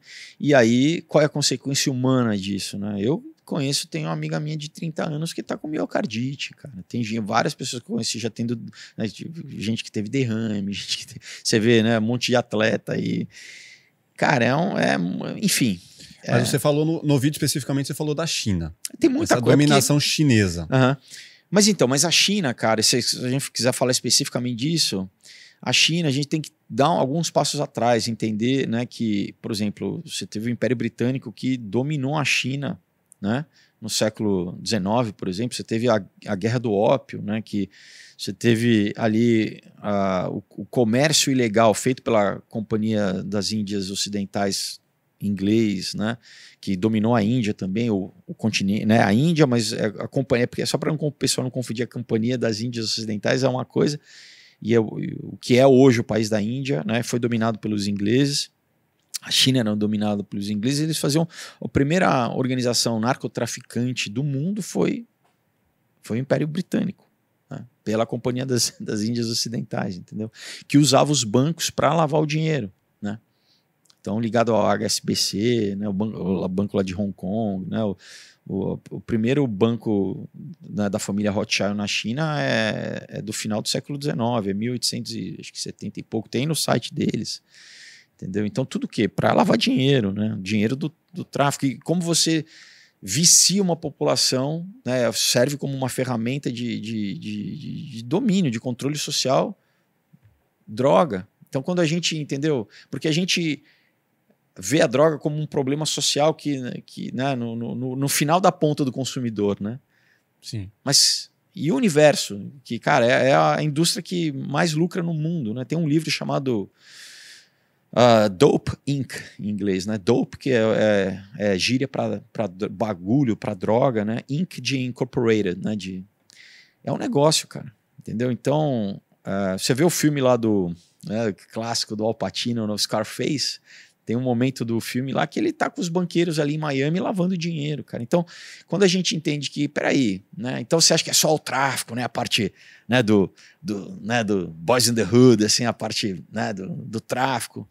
Pensa só em comunidade, é. né? O problema que gera para. São os bancos que estão patrocinando evento de tênis, evento de Fórmula 1, evento de polo, de iate. e o controle da mídia. É óbvio, né? Também.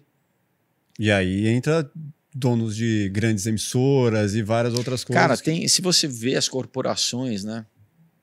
Tem um, tem um gráfico que o pessoal, se quiser, né, consegue achar na internet. Você vê Hoje em dia você tem dois grandes fundos no mundo, que é o BlackRock, o outro chamado Vanguard, né? Que eles, eu acho que o BlackRock tem mais de um trilhão de dólares de asset, assim. Então, um fundo tem muito mais do que qualquer país. Eles têm controle acionista de empresas em todos os setores, setor alimentício, setor de indústria bélica, setor automobilístico, setor de, de mídia. Daí você fala, você acha que o quê? Que o, o, o presidente, um presidente de qualquer país é, manda mais do que, do que cara, é, é, é uma rede de interesses muito grande. Então, só voltou da China, né? Eu comecei uhum. falando, eu fiz essa digressão aí. É, como são muitas, muitas informações, a gente tem que, tem que dar um embasamentozinho, assim, né? Sim. Então, uh, você tem a Universidade de Yale lá nos Estados Unidos, né? Que é uma das Ivy Leagues que eu visitei lá, conheci em loco lá. Uh, eles têm uma sociedade secreta chamada Skull and Bones, que quer dizer caveira e ossos, tá? Skull and Bones que veio da Alemanha, né? Ela, ela, isso no século XIX foi fundado lá uh, por uma família, na época Russell, que o Yale foi fundado, na verdade, como um seminário teológico, como Harvard também, né? É uma universidade de teologia. Enfim, os caras entraram lá e, e basicamente viram que num sistema educacional você tem acesso às melhores mentes do país, às pessoas mais promissoras do país. Tá? Então eles eh, começaram a fazer o quê? Todo no último ano né, dos formandos, eles, eles indicavam, eles chamam em inglês tapped, né, que é tapped é de bater, né? Então eles batiam no ombro e vê, e eles convidavam aqueles jovens promissores, os melhores das suas classes, né, para se juntar a essa essa sociedade, né, com juramento, né, com Daí você fala, pô, mas por que, que você vai ter que ter juramento? Tem que ter toda uma, uma questão de ritualística. E essas pessoas já saíam de lá do School and Bones para altos cargos, ou seja no mundo corporativo ou no governo, para ser embaixador, para ser é, senador americano. Então você vê a lista de gente do School and Bones que são generais americanos, que são. Né? Então você vê, por exemplo, o Prescott Bush, que é o, é o pai do George Bush Sr., né? que foi presidente americano, que foi o primeiro diretor da CIA, ele foi Skull and Bones. O filho dele, o George Bush Sr., foi Skull and Bones. Tá? Né? O Alan Dulles, que, que, que meio que, que formou a CIA. Então, daí, a gente, enfim, é uma, a gente entra nesse campo aí que as, as, as agências de, de espionagem em vários países, tanto como o MI6 na, na, Inglaterra, na, né, na Inglaterra, sempre tem, primeiro, que você lida com o que? Você lida, você lida com segredo. Com segredo de Estado, mas você lida com segredo. Né? Você lida com inteligência. Você vai pegar o talento na base. Exato. Onde ele tá, né? E, enfim, aí a gente entra. Uma, é, é um assunto longo, assim, sim, sim. mas. Mas. É, e aí, né, eu só, tô, eu só peguei essa família do Bush, que ela é, ela é representativa para a gente entender como que geracionalmente o poder é transferido né, de uma geração para outra, geração, outra geração. O George Bush Sr. foi embaixador é, dos Estados Unidos na China, né? ah, então a escola, eu falei do Skull and Bones por quê? Porque o Skull and Bones, né, a Universidade de Yale abriu um capítulo da universidade na China é, na década de 30 e o Mao Tse Tung, que foi o, né, o pai da Revolução Russa, da, da, desculpa, da Revolução Soviética na China, ele estudou na, na, no capítulo de Yale na China e ele foi introduzido no School and Bones. Então, assim, é, eles sempre usam, eles, quando eu falo, né, essa galera que domina, eles usam uma dialética, né? eles usam, eles criam o paradigma político que a gente tem hoje, principalmente, né, desde a Revolução Revolução a, Francesa, né, até hoje, de direita e esquerda, é controlado por eles. A Revolução Russa foi financiada, o dinheiro para você para depor né, o czarismo na Rússia veio né, de, uh, de interesses financeiros uh, que a princípio são seriam né, capitalistas. Então você fala, peraí, como que a pessoa que é capitalista está promovendo a tomada, a implementação do comunismo na Rússia? Então o Trotsky saiu de Nova York né, com dinheiro de Wall Street de um banqueiro chamado Jacob Schiff. Tem um livro chamado Wall Street and the Bolshevik Revolution, do... Uh, uh, vou lembrar o, o, nome do autor daqui a pouquinho, uh, que exatamente mostra, claro, como né, é, você, cara, fazer uma revolução custa muito dinheiro, você tem que alimentar a tropa, você tem que vestir, né, municiar, né, transportar essas pessoas é caro. O Lenin saiu da Alemanha de armas bélicas. O, o Lenin saiu da Alemanha de trem com ouro, né, e o, e o Trotsky saiu dos Estados Unidos com, né, com esse dinheiro de Wall Street para o quê? É, derrubar o, o, né, o governo o regime lá czarista, né? Mata, inclusive matou toda a família Romanov para tomar o país que, tinha, que tem a maior extensão territorial do mundo, né? Para criar a União Soviética para o quê? Para a gente ter a Guerra Fria. Por quê? Porque tudo isso ia conduzir ao quê? A um, a um, a um mundo global, né? Então, Primeira Guerra Mundial, você tem uma mudança do, do, do, do né, do você basicamente mata as monarquias e institui é, nações-estados que depois o segundo passo com a, com a Segunda Guerra foi cada vez mais diminuir essa independência nacional para criar blocos continentais e no final vai ser o que? É um governo global. A ONU, o objetivo da ONU é exatamente esse. Né? Eles tentaram primeiro fazer com a Liga das Nações no, no pós é, Primeira Guerra, não conseguiram, né? E, e todas essas instituições internacionais globalistas também, como né, primeiro nos anos 30 foi feito, né, antes do Banco Mundial, antes da, da, do FMI, o Banco de Acordos Internacionais, é, e depois, né, na, com, a feit, com a formação da ONU, o, né, o Banco Mundial, o FMI. Mas se você vai lendo né, a história, é, tem um outro livro, é, é Anthony Sutton, né, o que escreveu o, se o pessoal quiser pesquisar o Wall Street and the Bolshevik Revolution. E, e tem um livro muito bom chamado Tragédia e Esperança, do Carol Quigley, que foi professor universitário, inclusive, do Bill Clinton, né? Na Universidade de Georgetown, lá na, né, em DC, né? É, é do lado de DC.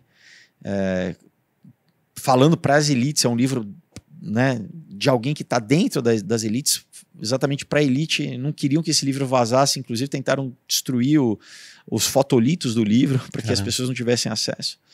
É, é, um livro de mais de mil páginas, assim, mas ele relata exatamente todo o processo né, do final do século XIX, né, de, do que é o pré-Primeira Guerra Mundial, durante a Primeira Guerra, o pós-Primeira Guerra, o pré-Segunda Guerra, o pós-Segunda Guerra, até os anos 60.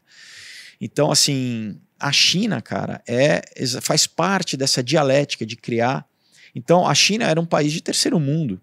Então, né, essa tomada, né, por exemplo, o Chiang Kai-shek, que era o, o general que era nacionalista, que era contra o comunismo, na, na, na, na Segunda Guerra, o, o, se eu não me engano, era o general MacArthur americano que ele, ele conseguiria vencer as tropas comunistas e ajudar o Chiang Kai-shek a não deixar com que a China virasse comunista e pediram, mandaram que, com que ele não com que ele não avançasse, entendeu? Porque o objetivo era criar uma polarização.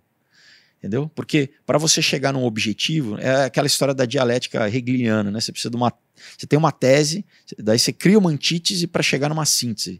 No, no, fundo, você sempre quis chegar aqui, mas você sabia que, né, politicamente, socialmente, você não ia conseguir chegar aqui. Porque Sair não, de A para B. Não. então você, você cria uma, uma, uma, né, uma, uma, uma oposição para gerar esse conflito, você mudar a opinião pública, e aí, sem que as pessoas percebam, você vai chegar no ponto C, que é onde no fundo você sempre quis chegar, é. né? Então você faz piorar, ou às vezes você faz piorar para depois exato, você... você cria a crise para é. trazer uma solução, né? Então a, o David Rockefeller, né, que, que é um dos, né, na biografia dele, ele, ele, ele, ele diz, ele fala, não, se me acusam de globalista, de conspiracionista, eu digo que sim, e com orgulho. Eu tenho a, a, a biografia dele, tá lá, tá para é que é isso, de novo, né? Quem lê, né? Quem poucas pessoas vão Sim. ler, vão querer assim, né? pesquisar isso, mas ele, ele não esconde.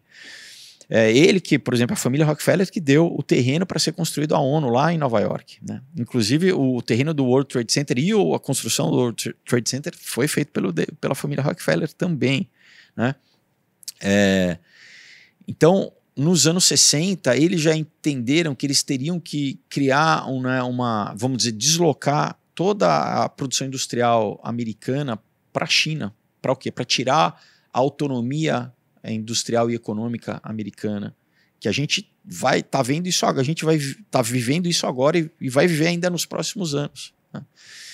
Então, uh, nos anos 60, tem um editorial que ele escreveu depois de ele ter viajado para a China, na época, né, já depois da Revolução Comunista. Então você fala: peraí, por que, que um banqueiro está indo viajar para a China e está voltando e escrevendo uma, um editorial no, no Times falando que a China é o padrão do que deve ser um país na nova ordem mundial.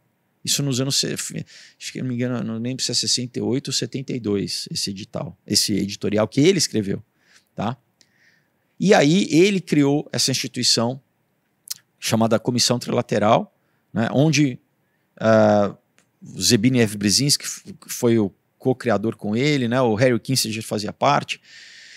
É, já sabendo o que a gente vai industrializar a China. Então a China não é um milagre. Da onde que nasceu a China? Da onde que vem? Você acha que você acha que essa essa até hoje essa relação de simbiose, né?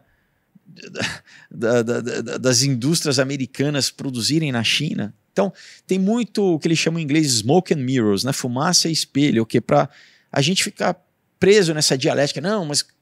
A teoria da mão de obra barata, de que ah, vamos mandar para a China. Mas não é só por isso. Isso, isso é uma é. explicação, vamos dizer, simplória, é, simplória né? Uhum. e pragmática, né? e mercantilista, de só ver, não, é, é imagina, a explicação é porque lá é a mão de obra mais barata, né?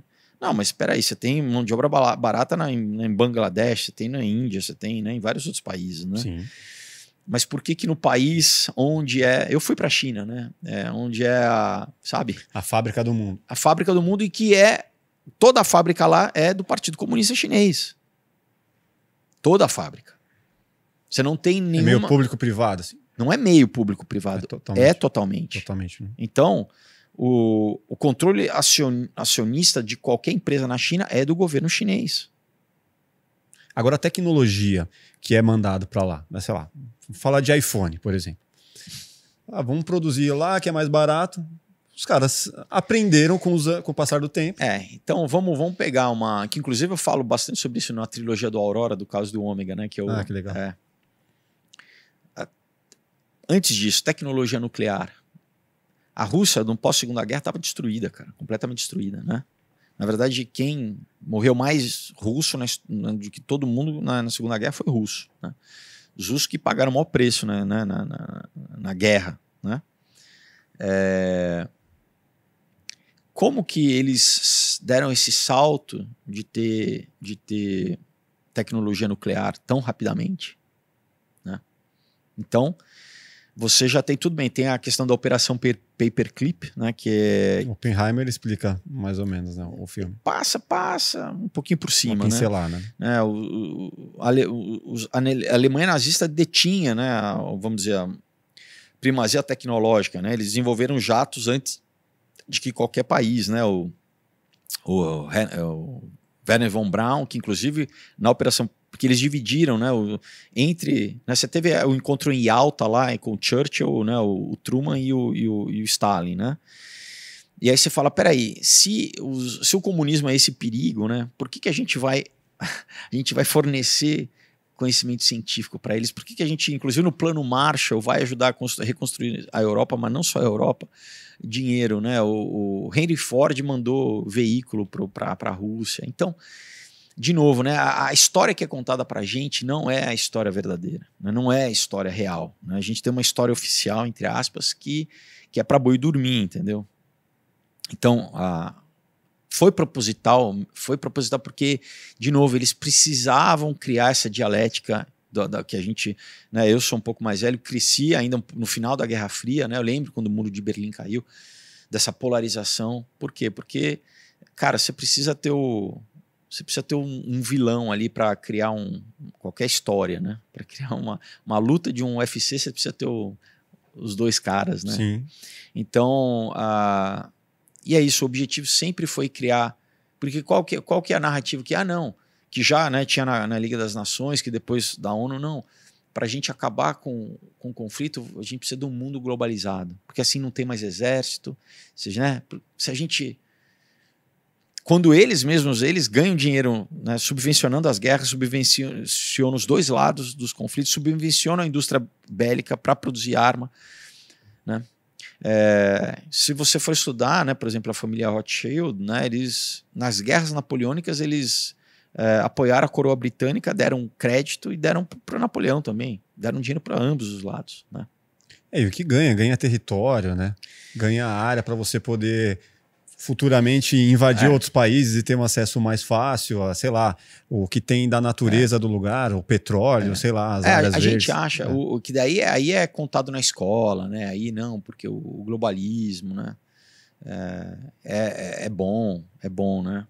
Mas imagina, pensa hoje assim, se você está num governo totalitário, você ainda consegue sair desse governo e ir para um outro país. Você tem a opção de, né? Se eu estou eu namorei uma menina da Estônia que cresceu na União Soviética. Ela me contou história. Além disso, eu, eu fui para o Vietnã, que ainda é comunista hoje.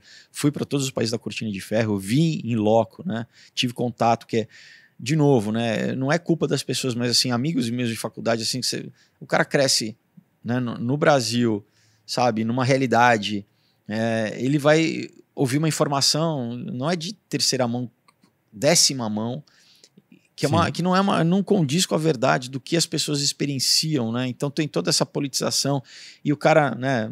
Na Vila Madalena não, porque eu acho que é legal ser, né, é. ser de esquerda. Eu recebi porque... um DJ que fugiu da Alemanha socialista. Exato. O Dinox, ele contou aqui a história. Exato. Quem viveu, Cara, falou, quem viveu e quem vive ainda, é. não quer, não quer nunca isso. Por quê? Porque é cerceamento das tuas liberdades individuais como cidadão. O governo manda em tudo. Né? Na Alemanha Oriental tinha Stasi. As pessoas tem um filme muito bom que é o, é, como é o, acho que é o Segredo dos Outros, como que é o, esqueci o nome agora. Que é isso, sobre um, um cara que é empregado da Stasi, ele tem que ficar vigiando, monitorando todo mundo. Não tem, cara, não tem liberdade de expressão, não tem, não tem o tecido social é, é completamente esgarçado porque você não confia em ninguém, até familiar. As pessoas acham que todo mundo pode te denunciar para ganhar um, um, um, ponto com o partido, né? com o governo.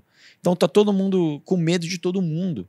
Né? Não tem adesão social, mas eles querem isso por quê? Porque eles sabem que quem que vai. Como que você vai ter uma. Né, o, o povo vai se juntar, vai ter um movimento social para tirar eles do poder? É a maior, melhor forma de uma, de uma minoria controlar a maioria. É isso é o quê? Fazer com que todo mundo esteja fragmentado nas suas políticas identitárias, jogar né, o homem contra a mulher, o, o, o jovem contra o velho, né, a raça contra a raça. Isso a gente nem falou de religião ainda, né? Nem falamos de é religião. É uma das coisas que mais dividem, né? Então, por quê? Porque sim, a gente fragmenta a população, deixa eles, eles não têm coesão para o quê? Para tirar a gente do poder. Nós somos, nós somos elite, a elite sempre é minoria, eles sempre se vêem desse ponto. Então, a forma é a gente o quê? Deixar o povo é, né, brigando entre si, né? Mas numa escala maior, né? Eu estava falando de, de, dessa coisa da, do globalismo. Então, se ainda você tem estados, né? Esse modelo que é relativamente novo, mas, né? Do, do, democracias, né? Ou repúblicas, né? é, né, nacionais, estados-nações, assim, é, se uma, você ainda pode migrar, você ainda, né, consegue. Agora imagina num mundo globalizado, cara, né? Imagina, e ainda mais quando a gente coloca ainda inteligência artificial agora. É. O nível de vigilância, né? De, de, de saber os seus pensamentos até.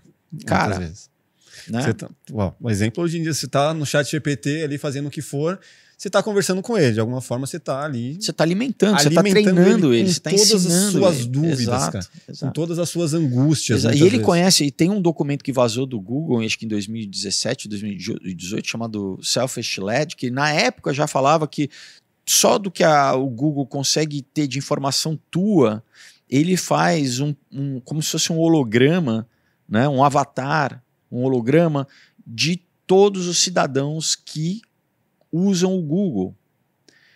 Então, assim, do teu padrão de comportamento de escrita, do teu padrão de comportamento de é, quase que sináptico, assim, como que você pensa, como que você escreve, como você escreve um e-mail, Exato. entendeu? Qual que é o teu padrão de fala, qual que é o teu padrão de consumo, o que que você consome culturalmente, qual que é a tua inclinação política, qual que é o teu qual que é a tua inclinação sexual. Cara, é literalmente saber tudo ao teu respeito. De Os novo, horários a explicação. que você se movimenta. As pessoas falam, ah, não, mas é só para vender, para te aparecer um, um, uma publicidade. Uma publi... Não, cara, é muito buraco, é muito mais embaixo, porque no final não é isso, é para te condicionar. E isso está no documento, nesse, que é um documento interno que vazou. Mas então vamos lá. Tem, ó, a gente falou aqui da, desse globalismo através da evolução das guerras, uhum. né, de todo o poder dos grandes, das, do, dos uhum. grandes grupos que possuem as maiores riquezas do mundo, evolução tecnológica, evolução de armamentos e tal, e a gente chega na evolução tecnológica, uhum. que através da tecnológica a gente consegue ter um controle cada vez maior do Sim. cidadão do mundo, independente de onde você estiver, isso ainda está ligado, por exemplo, empresas como Google, uhum. é, sei lá, Elon Musk, uhum. os, os, os, mais poderosos ainda estão nesse controle agora de uma outra forma? Cara, os que, os que aparecem não são os mais poderosos, primeiro. Né? São os figurões, o, digamos... Os que aparecem... Falou, você falou de UFC, sei lá, é o Dana White, mas que é só a figurinha ali. Exato, pra... exato que não é o que quem detém a maior riqueza. Sei lá, é um sheik árabe, não sei. A gente, cara, a gente. Por quê? Porque o, a gente, quando a gente entender que o anonimato é, o, é a maior ferramenta de controle que essas pessoas têm, é o anonimato. Né? Mas a gente vai, se, for, se fosse avançar, vai avançando, avançando, avançando, até chegar em uma dessas famílias Sim, famílias. Que cara, chegou... tem famílias que, que, que, que, remontam ao Império Romano. Assim, na verdade, remonta muito mais. Assim, tem famílias que se perpetuam no poder desde o do Império Assírio, assim, babilônico, sabe? É. Que é bizarro. É, eu não vou falar quem, mas eu conheço uma pessoa da família real do Brasil que quando nasceu o filho dele, ele falou, ele recebeu carta congratulações do mundo inteiro de gente que ele nunca, ele nunca viu, porque eles conhecem, eles seguem eles seguem. Os mais poderosos de cada país. Eles seguem a, a, a linhagem de, de, geração após geração. Eles sabem que essa linhagem. Né, ah, teve uma no, nova, novo membro, novo membro dessa linhagem. Né? Cara, é profundo esse estudo aí, cara. É. É, e, e, como entra a, a, questão espiritual nisso? Então, aí a gente entra numa, numa esfera que.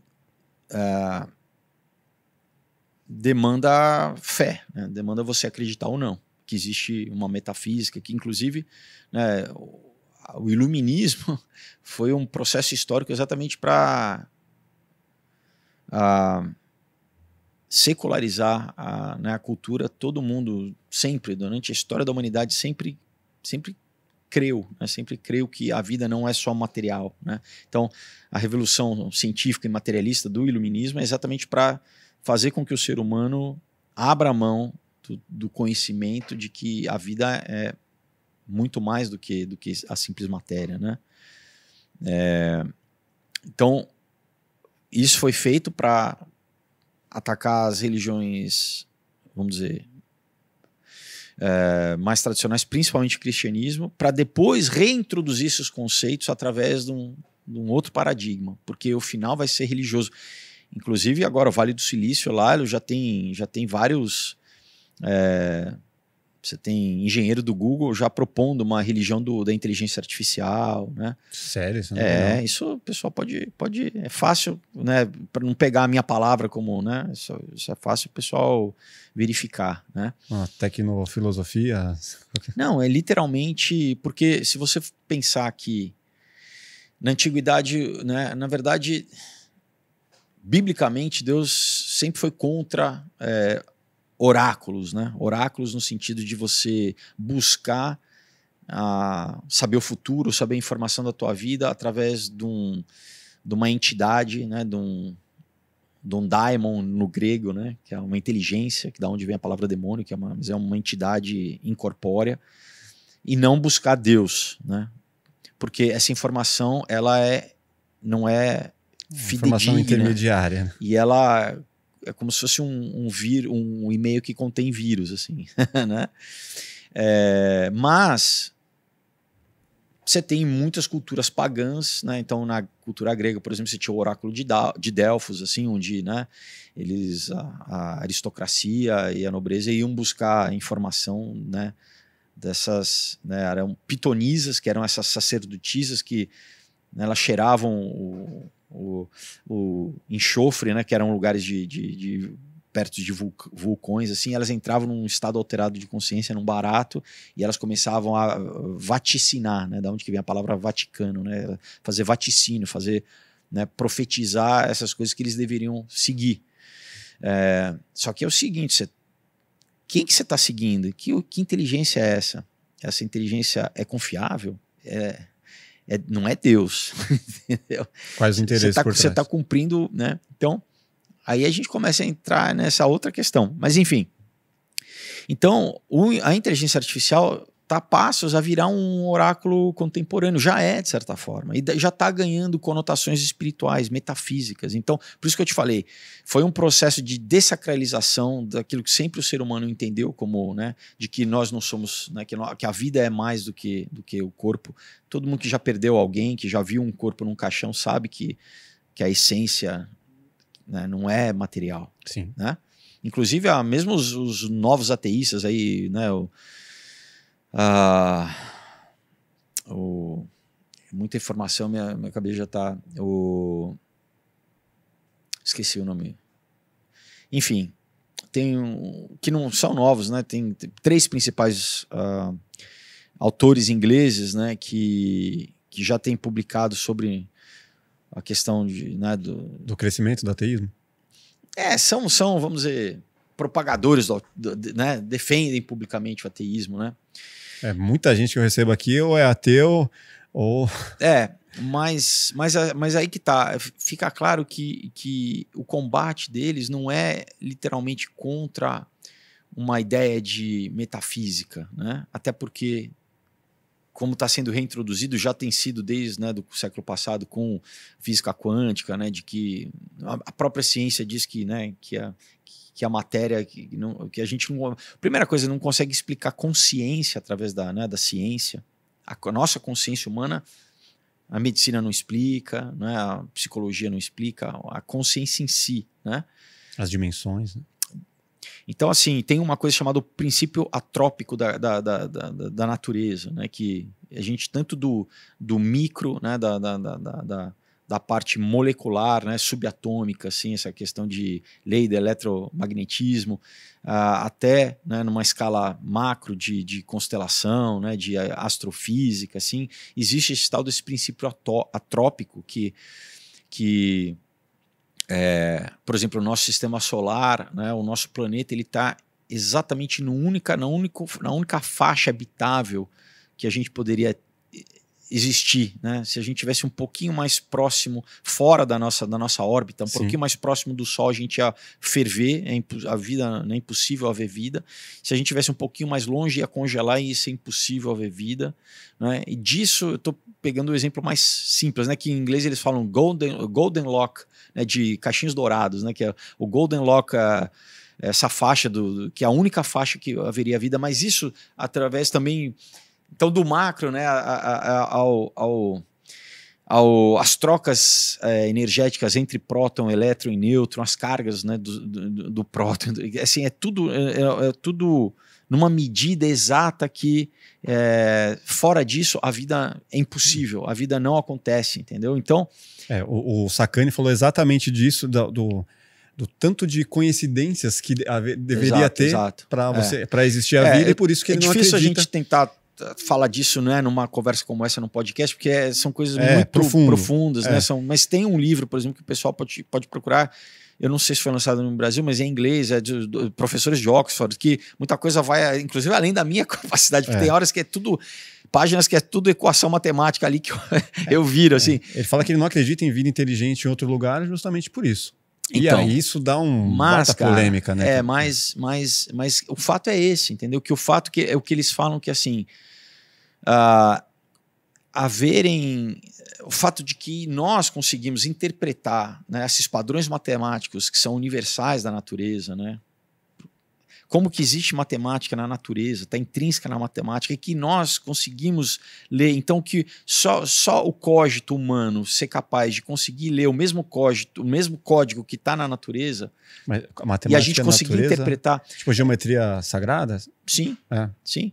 Né? É, é, existe o que? Existe uma, uma isso, tudo isso denota que existe uma mente criadora, que, a, que, que porque o materialismo ele, ele propõe que tudo isso é, é fruto do acaso. acaso é. é. muito acaso, cara. É, não acho né? que é acaso. Então, então é, você precisa de. Né, tem um, um, teólogo que fala, famoso, que fala: eu preciso de muito mais fé para acreditar no acaso, nessa, na impossibilidade numérica do acaso do que, do que na, na, na, na, na coexistência, na correlação e na completude de todas essas.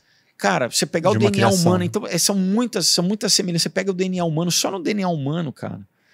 É, você explicar o DNA humano só para você explicar como a, uma mitocôndria funciona dentro da célula, cara. Sabe? É, é cara, é, é, é tão intrin, é tão, é tão complicado, é tão complexo. Isso, um, um exemplo que eu gosto é, é, assim: tem um, um, um, outro teólogo que fala assim: é, é mais ou menos como se um, um furacão passasse por cima de um, de um, de um, de um ferro velho e quando ele passasse, ele deixasse montadinho um, um avião, um Boeing, um Boeing 747.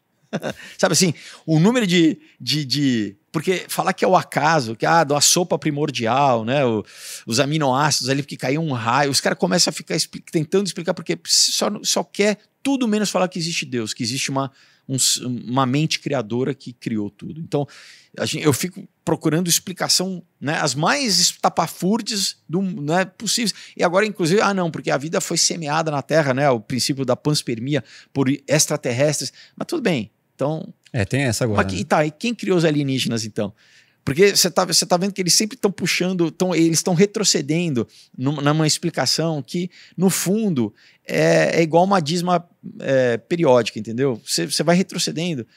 Uma hora você vai chegar que existe, do nada houve alguma coisa, que é o ex nihilo, né? Que lá em, em latim. O fato é que não havia nada e passou a haver. Isso é a maior prova de Deus. E já está comprovado, já é aceito que durante né, o século XIX combatiam muito o, o Big Bang, né? O princípio que. E quando você lê, cara, o primeiro capítulo da Bíblia fala que o quê? Que, que no princípio, né?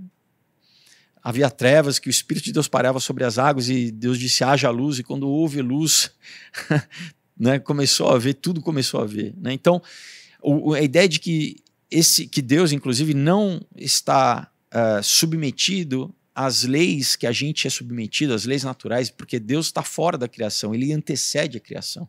Ele está fora das nossas dimensões temporais aqui, espaciais e temporais, né? São três dimensões espaciais e a quarta, que é o tempo, que é temporal. A nossa Deus... capacidade de tentar entender. Exato. E ele só pode existir fora, porque né, você, eu, sujeito à criação, eu não consigo estar tá fora para criar. Quer dizer, entendeu? Você tem um paradoxo de. Né, não tem como algo crescer, ser criado do nada, porque ele não existe, se, se não existe nada. Então ele tem que estar fora do, do, desse, desse, desse esse princípio inicial do Big Bang, né? Enfim, eles tentam, daí criam teorias do multiverso, né? Então, tudo bem, antes do, desse universo que a gente vive, já existiam outros universos, daí, na verdade, existem infinitos universos e, o, e, e calha da gente viver num universo que, que a vida é propícia para que a gente exista de qualquer forma, tá bom, mas quem criou esses multiversos? Entendeu? Vai regredindo a explicação. É Deus, né? Não tem como fugir, cara, né? Então, assim, é... e aí falando individualmente, cara, se... é, a, é a questão do ser humano, né? Se você não, enquanto na verdade, cara, você só conhece, só entende a si mesmo e só entende a vida quando você uh, se permite entender que Deus existe, que Deus, né? Quanto, quanto mais você conhece Deus, mais você se conhece, conhece o ser humano, conhece a história. Não é à toa que as primeiras universidades no mundo todas foram, é, né, foram fundadas como o primeiro convento, depois seminários teológicos. A teologia foi o primeiro curso acadêmico da história, né? Então, não sabia disso. É. Então, assim, é, mais o que, de novo, isso emancipa o ser humano. Quando você entende que você é criado à imagem e semelhança de Deus, você é, você é muito menos controlável. O Estado não é teu Deus. Né? Então, uh, uma, uma das maiores formas de. Por que, que vários né, impérios ao longo da história, você foi estudar os, os, os monarcas, os, né, os, os Césares, eles eram considerados como Deus. Por quê? Porque você, né, você destitui essa autonomia que o ser humano tem em se reconhecer como criado à imagem e semelhança de Deus, que é a tua verdadeira autonomia para ser o quê? Ah, eu sou um, um, servo, eu sou um escravo, eu sou, entendeu? Eu sou sujeito a esse a essa pessoa que na verdade é criador e o, e, e, e o principal da Bíblia que Deus fala assim é não não adore a criatura no lugar do Criador, não coloque nada no, no, no meu lugar de Deus, porque eu sou o princípio criativo e superior de qualquer coisa né? O conceito de idolatria é isso, qualquer coisa que você se colocar no lugar de Deus, seja você mesmo, seja um outro ser humano, seja uma, uma instituição como um governo, qualquer coisa, você está se fazendo um serviço. Primeiro que você está se desconectando de Deus, da tua relação direta com Deus, e você está se submetendo, você está dando poder para alguém sobre você, quando na verdade, né? Mas isso serve para mestres de todas as religiões. Então, mas, mas, mas, o catolicismo, mas, os evangélicos e. Mas, mas nunca você deve. A pessoa deve, deve te ajudar, né? Um, um, um, ela deve te conduzir aquilo, ela deve te ajudar no, te ajudar no processo, né? Mas ela nunca, você nunca deve adorar alguém como como um deus, como um deus, né? Ou infalível, por exemplo, tem uma bula papal da infabilidade papal, né? Não, todos somos falhos, né? Todos precisamos. É. Então, né? Ninguém, cara, você, citou o catolicismo, né? Então, assim, nunca um mestre. Então, você, corre, corre quando qualquer cara fala, não, porque eu sei, né? Não, você sempre você, você aponta para Deus, né? Você, você é um. Você é um. Né? E a Bíblia usa, inclusive, esse termo, né? Você é um vaso, né? Você é um. Você é um, é um recipiente né, do Espírito de Deus, mas que não é você, né? Você também tá, ah, tá na mesma condição humana do que qualquer outra pessoa, né? Todos precisamos, na verdade, né, ter a nossa natureza restaurada. Você sempre cita a Bíblia, uhum. né? Porque, assim, na, na, na minha... É, sou muito leigo, né? Uhum. É, é, espiritualmente. Porque a gente deve acreditar na Bíblia que foi escrita por homens. Então, ela, a Bíblia foi é, escrita por homens, mas inspirada por Deus. E foi traduzida. Mas, passa por anos e anos. É, mas eu, eu creio que Deus ele preserva a sua própria palavra, assim, entendeu? E, e, e a tentativa, por exemplo, na China agora estão tentando criar uma, né, uma nova uma tradução do Partido Comunista Chinês. Então. Né? Mas, exatamente, é, existem, vamos dizer, sempre remanescentes que preservam. Você vê, o maior milagre que pode ter foi ter, terem descoberto a, né, a, em, os, os, pergaminhos do, Mar, do Mar Morto, né, que o que testificam a veracidade histórica da Bíblia, porque né, é, é, muito engraçado que os detratores da Bíblia né, citam, por exemplo, Platão, que você não tem nenhum manuscrito de Platão, né? Ah, não, Platão é, é figura histórica e tal, e aí Jesus, que é muito mais recente, que tem testemunhas. É, é, é, testemunhas oculares que registraram, que inclusive não eram cristãos, por exemplo, você tem um, um historiador judeu chamado Joséfos, né, que viveu no período de Jesus, ele, ele, ele testifica sobre Jesus, sobre a pessoa histórica de Jesus. Eu recebi né? um convidado que disse que não há nenhum registro histórico, arqueológico da existência de Jesus. Mas é, é isso, a gente entra numa, numa, num jogo de narrativa, né? É. Agora, se você pegar que pessoas. Uh, cara.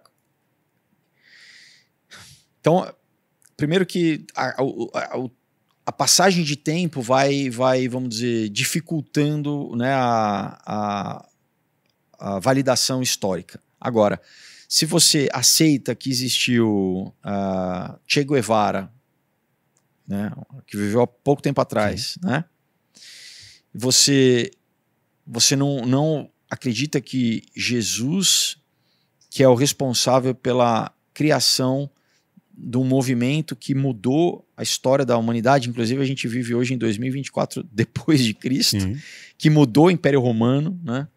É, e que pessoas que, né, se fosse uma, uma, uma, mentira elaborada, porque tem né, uma teoria que não, né, os seguidores criaram essa.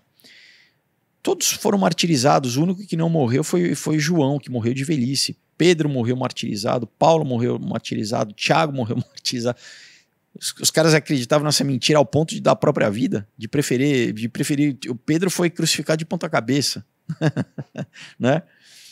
Então, assim, é, você, e, e de, de, novo, né? Você tem relatos, né? Na, da igreja, a gente fala, fala igreja primitiva, essa é a igreja do primeiro século, né?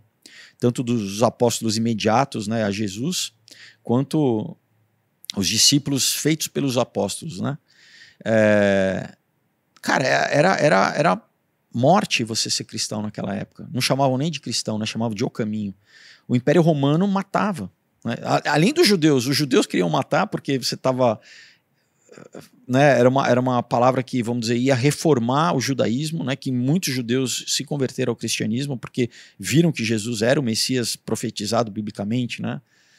É, mas você tinha a classe econômica e sacerdotal, que era o poder mainstream da época, que, que era quem Jesus batia de frente, né? Quando você lê nos evangelhos, toda hora ele estava indo contra esse pessoal que estava corrompido, que estava buscando dinheiro, que estava buscando poder secular, entendeu? Que era eram falsos religiosos, né? Que eram os, os fariseus, né? Os fariseus seus, mas principalmente os fariseus. Jesus bate de cara com esse, com esse, com esse pessoal, né? E eles que, inclusive, que que, vamos dizer, é, ar, né, arquitetaram para que Jesus fosse morto. Agora, a, a questão é a seguinte, que a gente vê como Deus é, porque isso estava profetizado. Por isso que também é, é, é, é uma, da, uma das coisas que mais testifica que Deus ele, ele, ele conduz a história do ser humano é que como que você pode falar alguma coisa séculos anteriormente, assim, né? Dizer, você lê Isaías 53, descreve exatamente Jesus Cristo, que é um, inclusive um dos capítulos que é os judeus é, eles, eles proíbem para que eles não, não ensinam né, para os judeus ali, porque fica muito evidente e muitos né, judeus messiânicos se convertem porque eles leem, eles falam que cara é é a descrição exata de Jesus assim, né, porque é, a gente tem que entender assim que os judeus sempre esperaram o, o Meshiach, né, que é o Messias, o ungido, que viesse restaurar o poder, é, poder secular, político, né, como uma figura muito ligada com como Davi foi, como o rei Davi foi, né, que uma época onde é, Israel dominava militarmente né, a região e não era oprimida por outros povos, né? É, mas a gente esquece do, do propósito da criação, como Deus criou o judeu primeiro para servir de testemunha de, né, de como se relacionar com ele para os outros povos. Nunca foi para uma coisa por si só, para o judeu ser, né? Eles perderam um pouco essa visão, né? isso é, né, você lê uh, Gênesis está descrito, né, que em Abraão todas as famílias da terra seriam abençoadas, né? Então, Abraão ele foi tirado ali da sua, da sua, da sua realidade, da sua cultura, que era em Ur dos Caldeus, que era uma cultura né, politeísta, uma cultura paganista, para o quê? Para começar exatamente. Deus basicamente fala assim: olha, tem muita coisa para trás antes de Abraão que eu não estou entrando aqui, porque houve uma corrupção de exatamente qual que é a verdadeira religião. Religião no sentido de como se relacionar com Deus, o culto, verdadeiro culto, como não é ter uma verdadeira conexão com Deus, assim. Então, Deus chama Abraão para instituir uma nova cultura. Chama ele, tira ele da, da, cidade dele, da família dele, que era estava toda condicionada naquela, naquele paradigma cultural, religioso. Ele fala: não, eu vou pegar esse cara e desse cara eu vou criar uma nação, né, da onde vieram os judeus, para o quê? Essa nação vai ser uma nação de sacerdotes, né? Vai ser uma nação que o principal elemento dela vai ser o elemento religioso. Para quê? Para servir de exemplo para as outras nações ao redor de como se relacionar comigo, né? como se relacionar com Deus. Agora, né, é, ao longo do tempo, isso então tem essa função de Israel. É, mas, de qualquer forma, daí ele trouxe né, com Moisés ali, né, 400 anos depois, com Moisés, trouxe a lei, que é a base da, da, da cultura ocidental, é a base da, né, da jurisprudência que a gente tem até hoje, né, os 10 mandamentos, mas na verdade são 613 mandamentos né, que abarcam toda, toda a lei judaica. E essa, isso enfatiza o que, que o homem por si só não consegue cumprir a lei. Porque se você errasse em um dos, dos mandamentos, você errava, você era culpado dos 300, 613. Entendeu? Então, o homem não consegue se justificar perante Deus. O homem precisa de uma salva, da salvação. Não é fácil o que tu queres, pois é tudo. Exato, entendeu?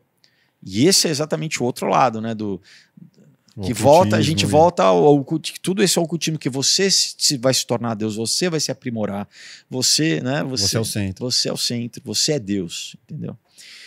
Agora, o, cristianismo é a única religião que, que, que, que, que realmente propõe que fala o seguinte: não, eu sou falho, eu, né, a minha condição humana é, é de propensa ao erro, propensa ao egoísmo, propensa à depressão, né, a vício, o que for, é, é, uma, é falha, eu preciso ser redimido, eu preciso de, uma, de um, um, agente externo que intervenha, né, o cara que está se, se afogando, que se alguém não jogar uma corda ou jogar uma boia, o cara vai morrer, porque ele tá, se ele não, se ele soubesse nadar, ele não ia estar tá se afogando. Sim. Então, né, eu preciso de um agente externo. Quando eu falo, é, ou eu vou me salvar pela tecnologia, eu vou. Não, eu tô o quê? Abrindo mão, eu falo, não, eu vou conseguir me salvar. O cristianismo fala, não. Deus, sabendo que o homem, né, ele, ele uh, abriu mão da sua, da sua, da sua identidade, né, uh, espiritual, e ele escolheu o caminho do conhecimento do mal, né, para o quê? Que isso quando a gente lê da forma mais arquetípica e mais simples e ao mesmo tempo completamente profunda, né? Quando você lê em Gênesis 3, quando né, a serpente é, fala para Eva e para Adão, primeiro para Eva e depois para Adão, né, que se ela comesse do fruto do conhecimento do mal, que é na, o conhecimento do bem e do mal, na verdade o homem só conhecia o bem, então é o conhecimento do mal. Ele ia ter esse conhecimento e abrir os olhos, ele ia ser como Deus, ele não ia morrer, ele ia ser imortal. Basicamente, ser como Deus, né? Deus tinha falado para o homem que, olha, você pode comer de toda a árvore daqui, inclusive da árvore da vida que tipifica Jesus. Você já pode ser eterno, você já tem a minha imagem, né, que eu já criei em você, a tua imagem ainda não foi distorcida. Então você pode ser um, você vai ser um ser imortal comigo aqui, né? Você só não pode comer dessa árvore que é o quê? É o conhecimento do mal.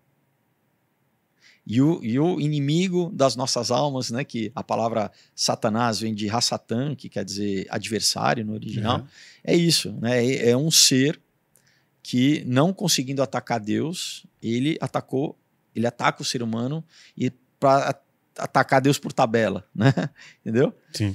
É, ele fala exatamente o contrário de Deus. Ele meio fala não, é porque Deus é malvado. E essa é a base da gnose, né? Que Deus é o Deus, é o demiurgo que aprisiona o homem. Então, né, Prometeus, é o que é, traz o fogo dos deuses, é a ciência que emancipa o homem. Da onde vem todas essas, essas figuras de linguagem? É o iluminismo, vai iluminar. Tudo isso é ligado ao, né, tudo ao, ao, satanismo, que é isso, assim. Agora, o temor a Deus eu não consigo entender. O temor ao Deus, a Bíblia diz que é o princípio da sabedoria. Mas Porque não é medo, temer, não é medo, é. não é medo. Temor tá está imbuído no temor a questão de respeito, de amor, de inclusive de amor, de, de admiração. Da mesma forma como você, você teme o teu pai, você teme o quê? Entristecer, você não teme quando você ama o teu pai ou tua mãe de verdade. Não é tanto, ah, não, porque vai me bater ou castigo. Não, é, é o quê? Eu vou decepcionar meu Sim. pai, né? Eu não quero que ele fique triste comigo, porque eu amo ele. É, é nesse sentido o temor de Deus. Que é o princípio da sabedoria. Então você sabe que, na verdade, Deus sendo o princípio maior de todas as coisas, Deus, né, ele ama e, e esse esse temor ele é o que ele é autobeneficiário, porque Por exemplo, ah, droga. Cara, aquela, aquele ditado, né? Quem avisa, amigo é. Se, né, seu pai fala, poxa, por quê? Porque aquilo, obviamente, vai te, é autodestrutivo. Então eu tô te prevenindo de, né, você como pai, você não, não Sim, você, vai você, dar instrução. Você não vai educar suas filhas, Sim. você não fala, não, não bota o dedo na tomada, porque você sabe que aquilo é prejudicial e negativo. Então, Deus é a mesma coisa, é o mesmo princípio, né? Então, né, ninguém nasceu sabendo, né? O ser humano tem essa tendência, a gente nasce, a gente acha que, ah, não, agora eu, eu sei de tudo, né? Meu, tem todo o universo que veio antes da gente, que se a gente não tiver a humildade de aceitar que existe uma estrutura no mundo que antecede a mim, eu vou estar tá querendo recriar o mundo da minha cabeça, eu vou querer reinventar a roda toda hora, uhum. né? É que tem um, algumas palavras que falam assim, pô, Deus castiga, hein? Cuidado, Deus castiga. Isso é, é não é que Deus é castiga, assustador, né? Não é que é, então, isso vende esse Deus mal e punitivo, mas Deus institui leis espirituais e essas leis espirituais se manifestam na, nas leis físicas. Então, da mesma forma que existe, né, eu citei aqui lei do eletromagnetismo, lei da, da gravidade. Uma lei da gravidade, assim, cara, se eu. Você não vai fugir dela. Não vou fugir dela, né? Se eu pular do, do, do, meu prédio, eu vou, eu vou sofrer a consequência dessa lei. Existem, le, existem leis espirituais da mesma forma. Então, por quê? Porque Deus criou um universo perfeito. Né? Imagina se não houvesse né, uma, um, leis que mantivessem o nosso planeta na sua órbita. Porque, ah, não, lei é ruim, a gente tem que quebrar tudo. Será? Se não existissem leis que mantivessem os teus prótons, os teus elétrons né, presos nas suas órbitas, teu corpo, né, um momento ia, cada elétron ia sair voando, ia, né? Então, a, Agora, quando a gente quebra a lei, você, sofre a consequência da lei. Então, não é que Deus castiga no sentido de que Deus ele instituiu né, a palavra logos, da onde vem lógica, né, que é o Jesus é o logos, né, de, né a gente lê no Evangelho de, de João, né, no primeiro capítulo, no princípio né, era Deus e o Verbo estava com Deus e o Verbo era Deus e todas as coisas foram feitas por Ele e sem Ele nada se fez.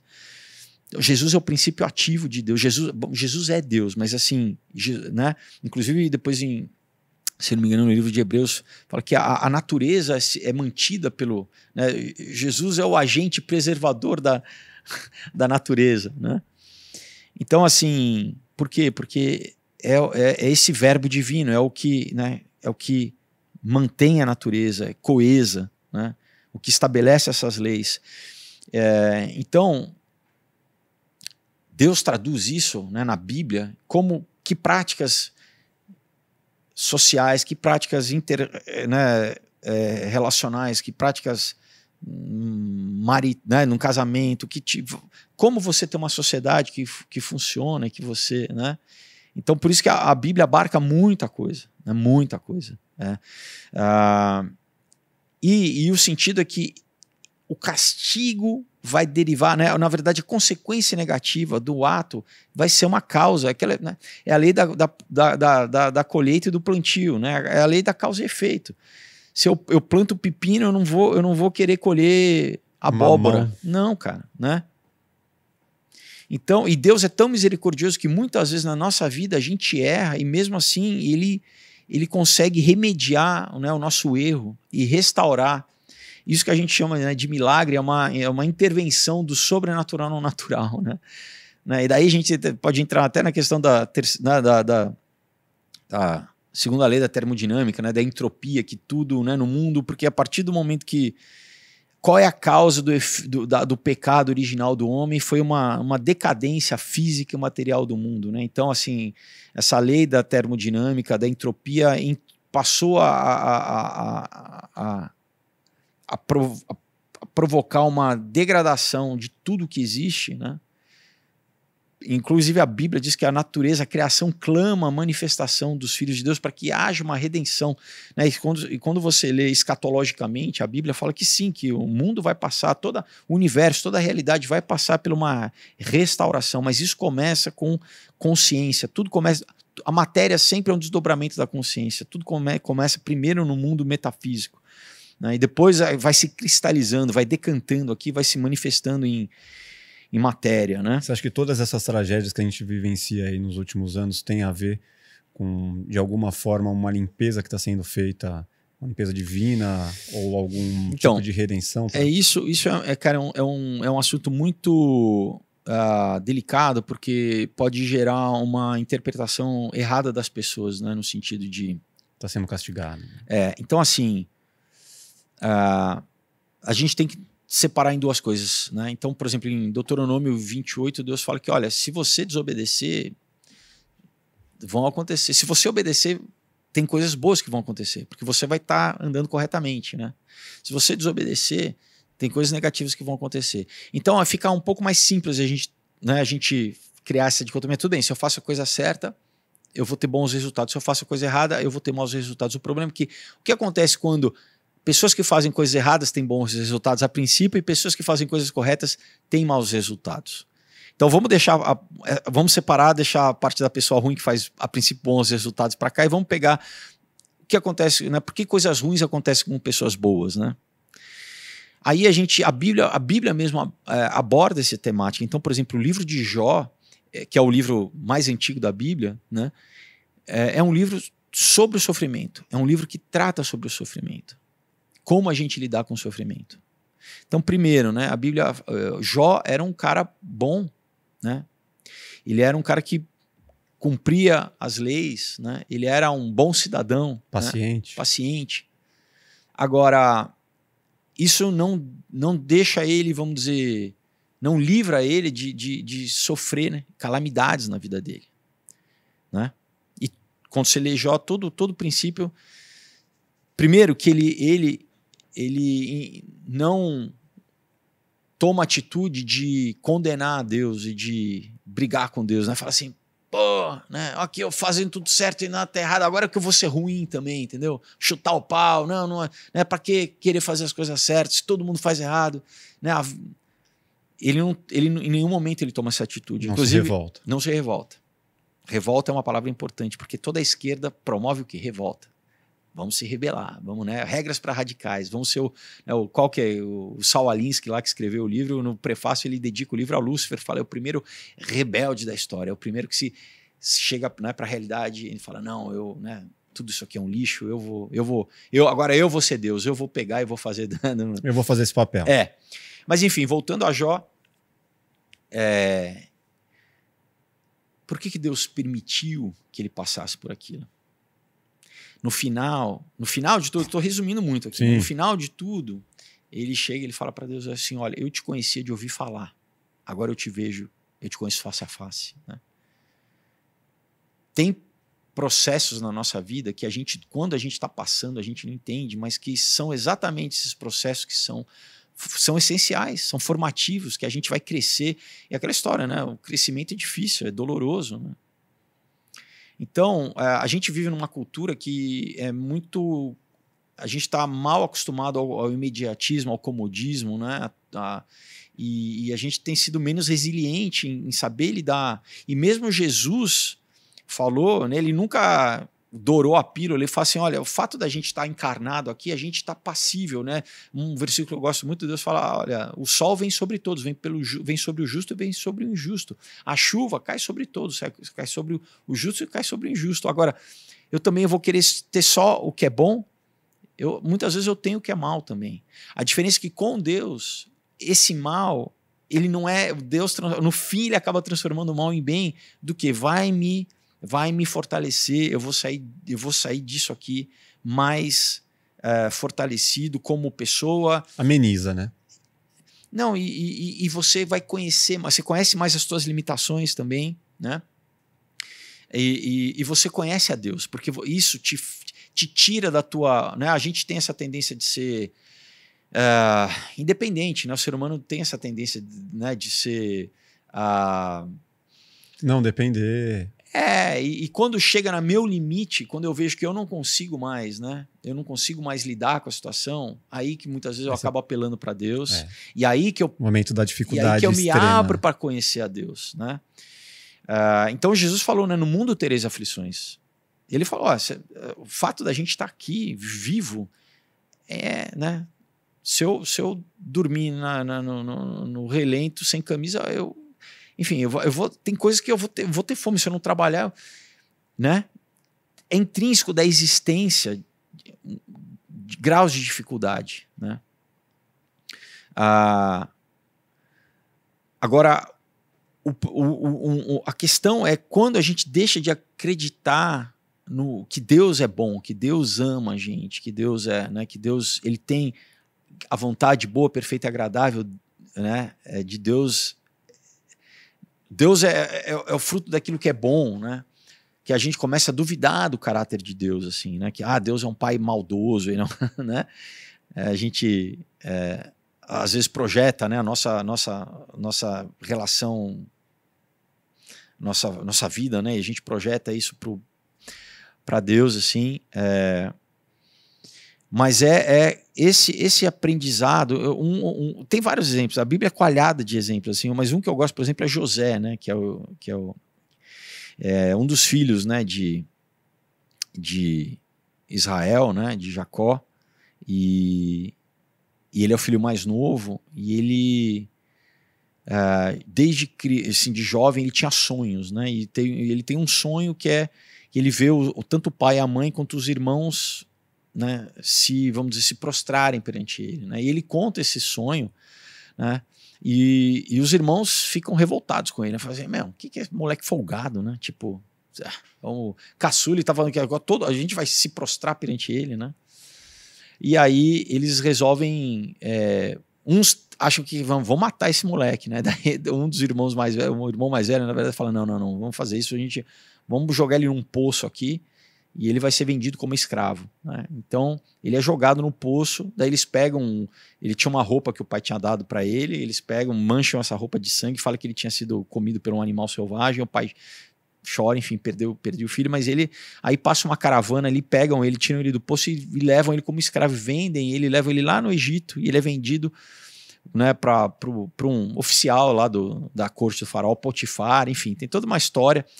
Mas o, o negócio é o seguinte, ele tem esse sonho realmente profético, mas só que ele era criança, ele, tinha, ele era completamente maturo, ele era meio que mimado, um filhinho do papai, ele não, mas iria se cumprir um destino profético, não só para a sobrevivência da família dele, mas para a própria nação de Israel, inclusive para a descendência de Jesus. Que era, ia haver o quê? Anos na frente uma fome na terra de 14 anos, né, de 7 anos, iam ter 7 anos de fartura e depois 7 anos de, de seca. Então, mas de, quando a gente está vivendo as coisas, a gente não consegue ver o dia de amanhã. A gente não, vai, a gente não sabe daqui a cinco anos como vai ser a tua vida, daqui a dez anos você pode até fazer curso de, de coach, de management, assim, ler livro de ah, não, vou projetar meus. O dia seguinte. Mas não sabe, é. né? Mas o que? Deus conduziu uma história para que ele aprendesse. Ele ficou 18 anos preso, cara, injustamente acusado, né? Numa, numa, numa cela ali. Depois teve né, um copeiro e um padeiro ali do, do faraó que sonharam, ele interpretou o sonho dos caras corretamente, mas ele pediu, olha, lembra de mim aqui, os caras esqueceram dele, lá ele ficou mais tempo preso, entendeu? Tipo, fala, por que, que o cara tá passando por isso? Ele precisava amadurecer, ele precisava tinha lições na vida dele que ele, ele aprendeu naquela, naquela, naquela, naqueles anos ali preso.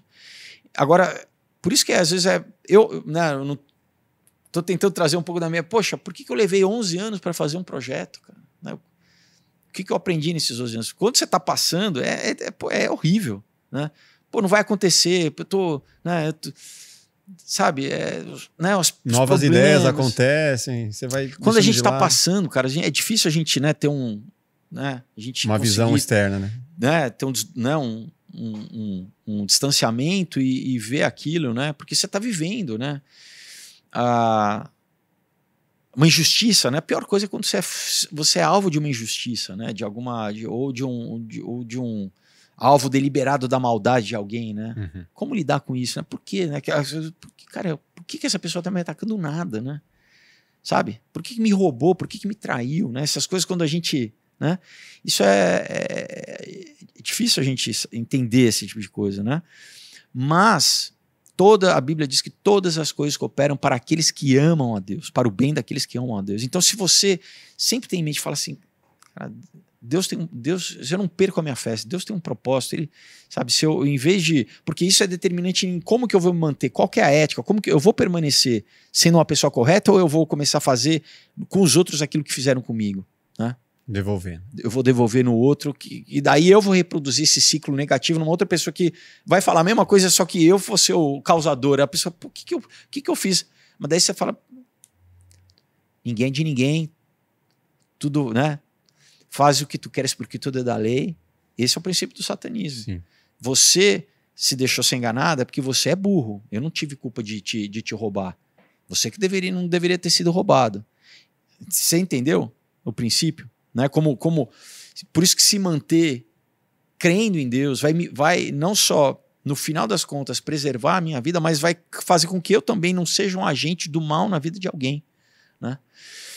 E, enfim, daí né, o José, no final da, história, acaba que o, o, o, copeiro lembra dele, né, tira ele lá do, do, do, do, da prisão, ele chega na corte do faraó, ele interpreta o sonho do faraó, que era esse sonho né, da, da, da, da fome, e, e, por causa disso, não só a nação do Egito inteira não morre de fome, porque eles, durante sete anos, eles guardam o alimento, né, que é um, são sete anos de, de, abundância, eles economizam, guardam, estocam, né, e sete anos de seca. Então, e aí povos, quando já estava na seca, povos começam a ir para o Egito para comprar mantimento, porque estava né, seca generalizada. Inclusive, a família de José, né, eles vão para o Egito para. E aí tem todo um encontro, depois de anos assim, é, é muito bonito, enfim.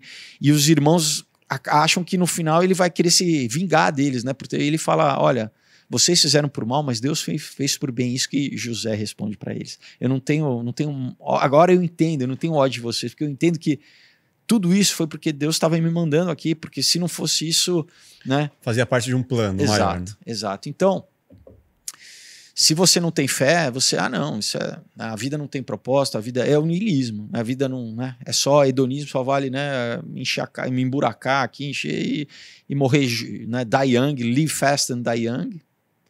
Ou não, a vida tem um propósito, a vida tem um sentido, né, a vida, é, é, quanto mais a gente entende. uma gente... passagem para uma evolução espiritual, né? Eu, eu gosto de pensar nisso. Eu gosto de pensar que, cara, evolução vai ser melhor a cada dia, independente da religião.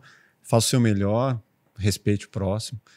E você vai evoluindo, consequentemente. É. Eu, não, eu não sei. Eu não, não, eu acho assim legal. A única coisa que esse, esse argumento da evolução, cara, ela sempre, ele vai chegar sempre numa parede, assim, que é, que é enquanto eu não, eu não, não aceitar a minha a minha humanidade, a minha insuficiência, né?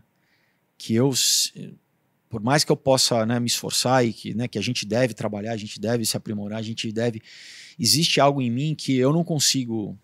Que aí, aí que entra Deus. Né? Que Deus, ele, eu, eu preciso dessa intervenção divina para restaurar algo em mim, né? que, que é o que Jesus veio fazer. Jesus é literalmente né, quando a gente tem que na história da humanidade Deus visitou o mundo, né? não só visitou o mundo, ele, ele se tornou homem aqui para né, né, ensinar a gente, né, como como o maior exemplo de, de ética, de moral, mas além de tudo isso, do que de espiritualmente, né, pagar essa lei espiritual do que que chamam de karma, de eu eu, né, ao longo da minha vida eu acumulo erros, eu acumulo eu decepciono os outros, eu machuco as pessoas. Eu, o que a Bíblia chama de pecar, que vem do no, né, no original da palavra, está é, ligado com errar o alvo. Né? É uma palavra que vem de, de né, arco e flecha, arquearia. Né? É quando você erra, errar o alvo, quer dizer, então errar, basicamente. Né?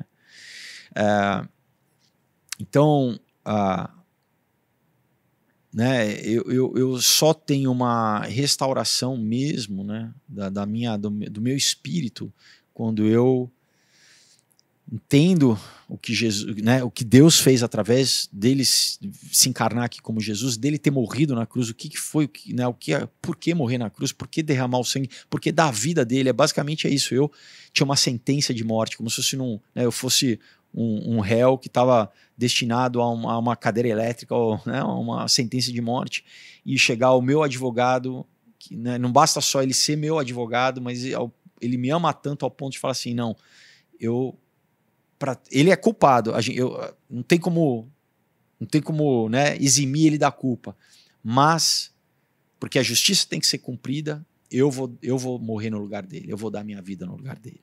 E a Bíblia diz que não existe maior amor no mundo do que um amigo dar sua vida por outro amigo, né?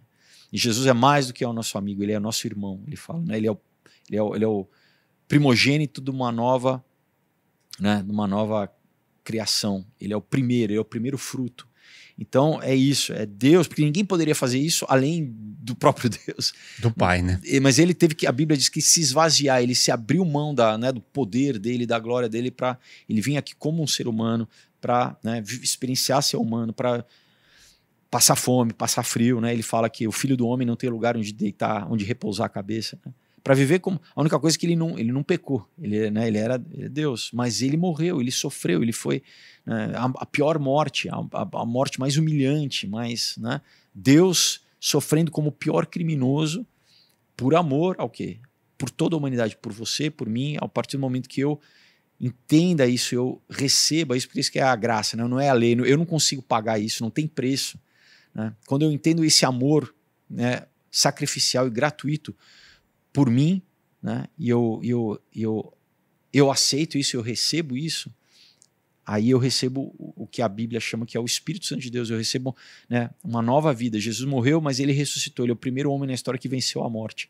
E com ele eu, eu venço a morte também. Eu venço a minha morte espiritual quando eu aceito ele. O Espírito Santo entre mim existe um milagre literal, porque na Bíblia diz que nós estamos mortos nos nossos delitos e pecados, porque Deus é justo, Deus é o amor perfeito, mas Ele é a justiça perfeita. Então, né, eu, eu, a consequência da desconexão com Ele é a morte, primeiro espiritual e depois a morte física. Então, eu preciso me reconectar, daí que vem a palavra religar de religião. Eu preciso me reconectar com Ele. E isso é só através da fé. É só através do que? Eu crendo no meu coração e manifestando com as minhas cordas vocais, isso criando vibrações aqui no, no, nas três dimensões, né? De que, de que eu não, ele não vai violar a minha, a minha, o meu livre arbítrio de, né, de escolher. Eu, ele quer, porque afinal de contas, amor é baseado em escolha, né? Amor, é, se for imposto, não é amor, é ou escravidão ou é prostituição. Então, né, eu tenho que escolher e reconhecer o amor dele, o que ele fez, o ato dele gratuito, receber esse amor em mim. Quando isso acontece, é restabelecido a ligação.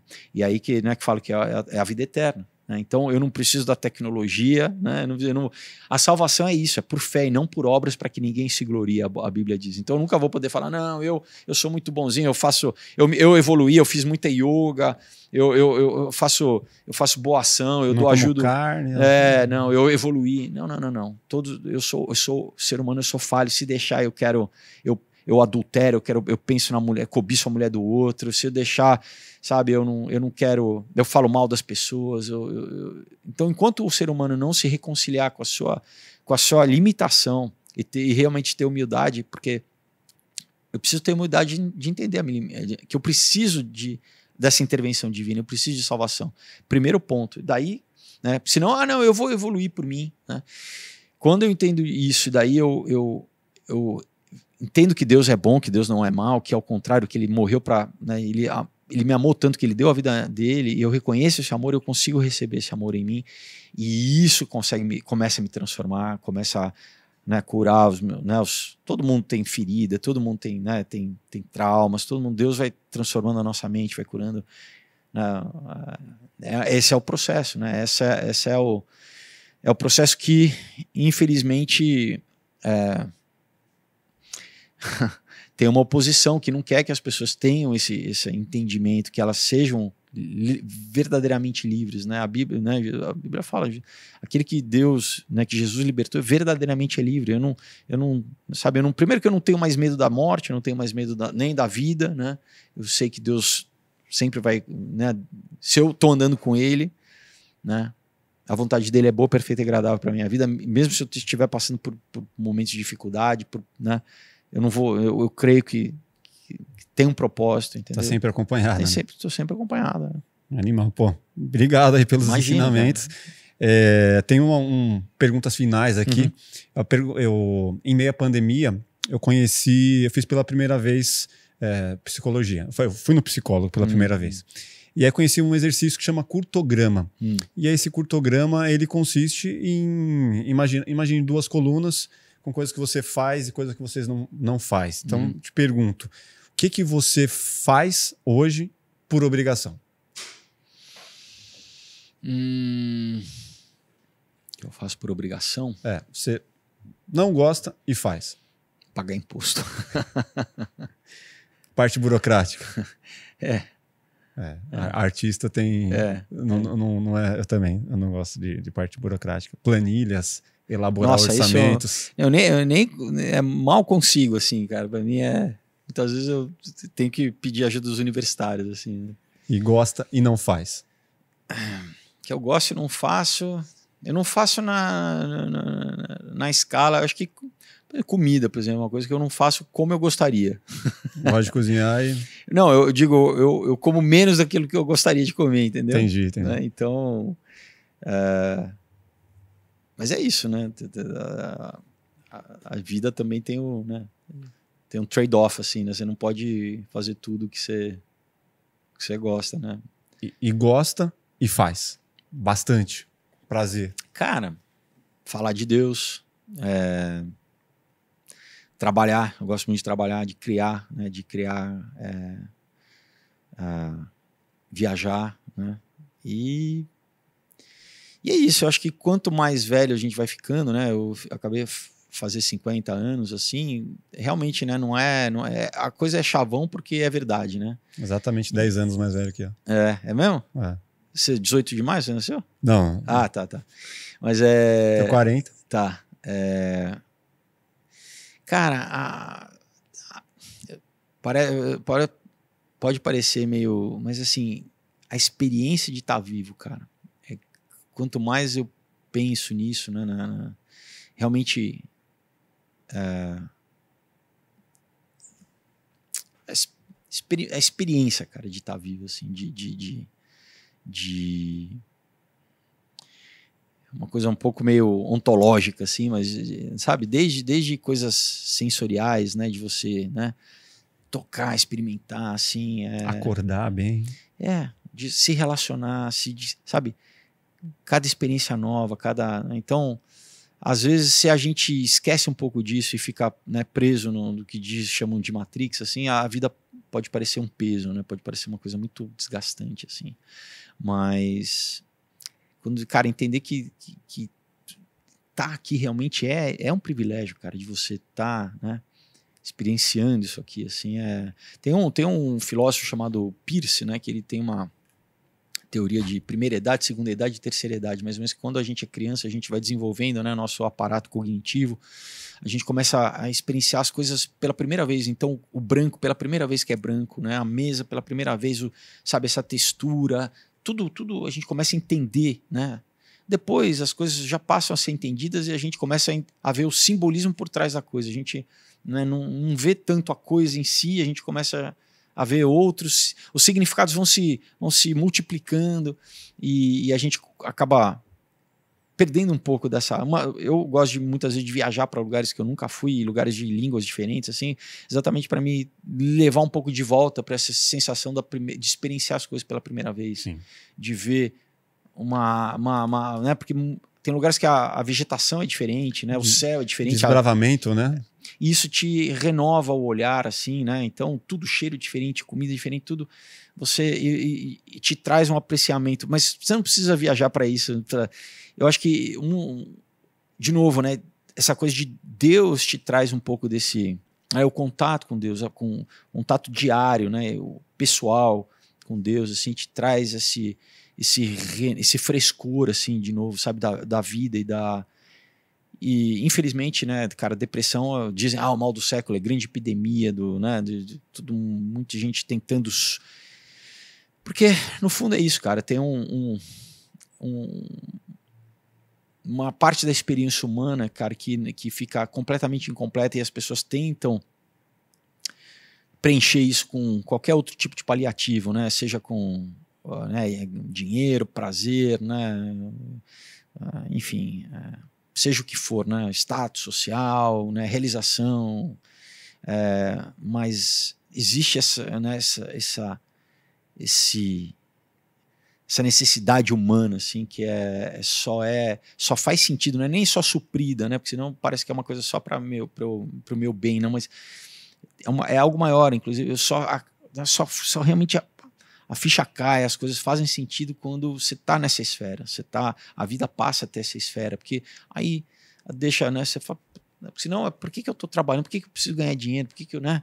Que eu acordar todo dia ter que, né? Por que que sabe? Qual que é o objetivo disso a longo prazo, ao final da vida, né, cara? Qual que é, né? Essa busca por conhecimento profundo que você faz, ela muitas vezes não enche de formação a ponto de chegar num caminho meio depressivo assim de você entender. Se for racional, sim. Tanto que a Bíblia diz que, né, o que o, o, o Salomão fala que, né, o muito muito conhecer é enfado, enfadonho, né? E é, o outro diz o, que a, o transborda o copo. A letra mata e o espírito vivifica, né? A letra no sentido de. Então, se é só racional, né? Por isso que tem muito muito filósofo niilista, muito que se mata, porque tenta. É. Cara, toda vez que eu vou, de novo, eu vou negar a minha maior realidade, porque eu simplesmente eu não quero aceitar que existe algo maior do que eu, né?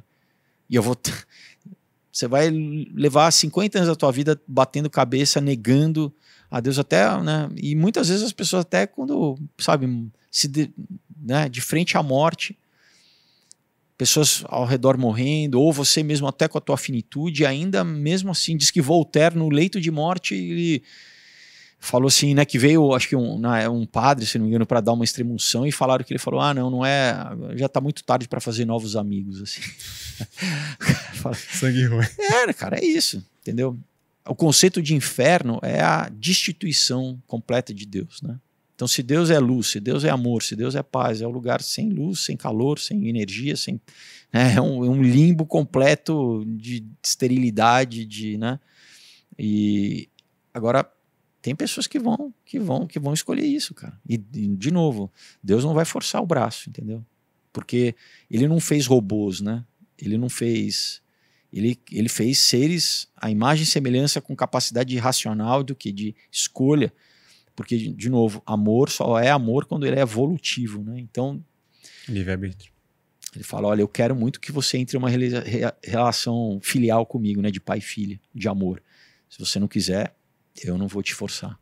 É, então é uma é uma decisão nossa, né? Mas ele sempre está nos atraindo e nos convidando, né? Sim. Agora a gente alimenta é, uma playlist no Spotify com uma música de cada convidado. Uhum. Uma música que tenha uma memória afetiva, que traga uma lembrança, uma música uhum. da sua vida. Qual, qual música a gente coloca para você? É, chama Sails, né, de, de velas. Tá? É de um, de um cara chamado Pat Barrett. Né? Barrett é B-A-R-R-E-T-T. Tá? Pat Barrett, Sails, a música.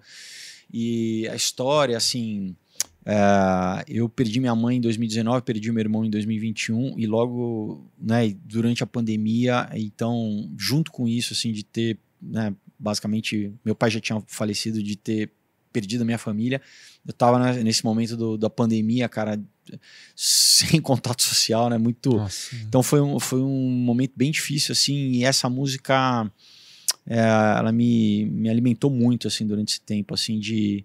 Era sempre me trazia alívio, assim, quando eu ouvia essa música. Assim. Então, espero que, que para quem ouça também, eu acho que tem um. Eu creio que tudo tem um, tem um espírito imbuído, né? Na arte a gente faz, tem um. Né? A, boca, a Bíblia diz que a boca fala do que está cheio o coração. Então, também, tudo que eu acho que a gente cria, a gente. Né, o espírito que está na gente está tá impregnado, né? Você pode chamar de energia, do que for, assim, mas eu, eu acho que essa música, ela, ela tem muito disso, assim, de, Profunda. É. Animal. Como sofremos na pandemia, né, cara? Quem passou pela pandemia e não, não sofreu, não, não, não, passou. Cara, só tenho a agradecer. Obrigado, não, parabéns. eu que agradeço. Parabéns. Ah, uma coisa, quem quiser conhecer os quadrinhos, deixa eu Novamente. Lembrar, tem o meu site, que é felipefolgose.com. É, eu ia pedir exatamente é. isso para deixar as redes sociais aí, como, como as pessoas encontram e isso. compram os quadrinhos. Então não é pela Amazon, nem pelo Mercado Livre, tá, pessoal? É diretamente comigo. Eu mando assim também com uma dedicatória, com né, um, um, que legal. um autógrafo. É, e também pode ser ou pelo meu Instagram também, tem, que é arroba Felipe pode pedir pelo direct ali, eu mando para todos os estados, para outros países também. A gente vai colocar o link aqui descri na descrição é, também. E é um, modéstia à parte, é um material muito legal. Tá bem, muito bem acabado. Estou vendo aqui de perto, tá animal. Legal. Obrigado. Valeu. Obrigado. É, obrigado a você que está aqui até agora com a gente. Deixe seus comentários, vamos alugar aí essa conversa e até o próximo Plugado Podcast. Grande abraço. Valeu.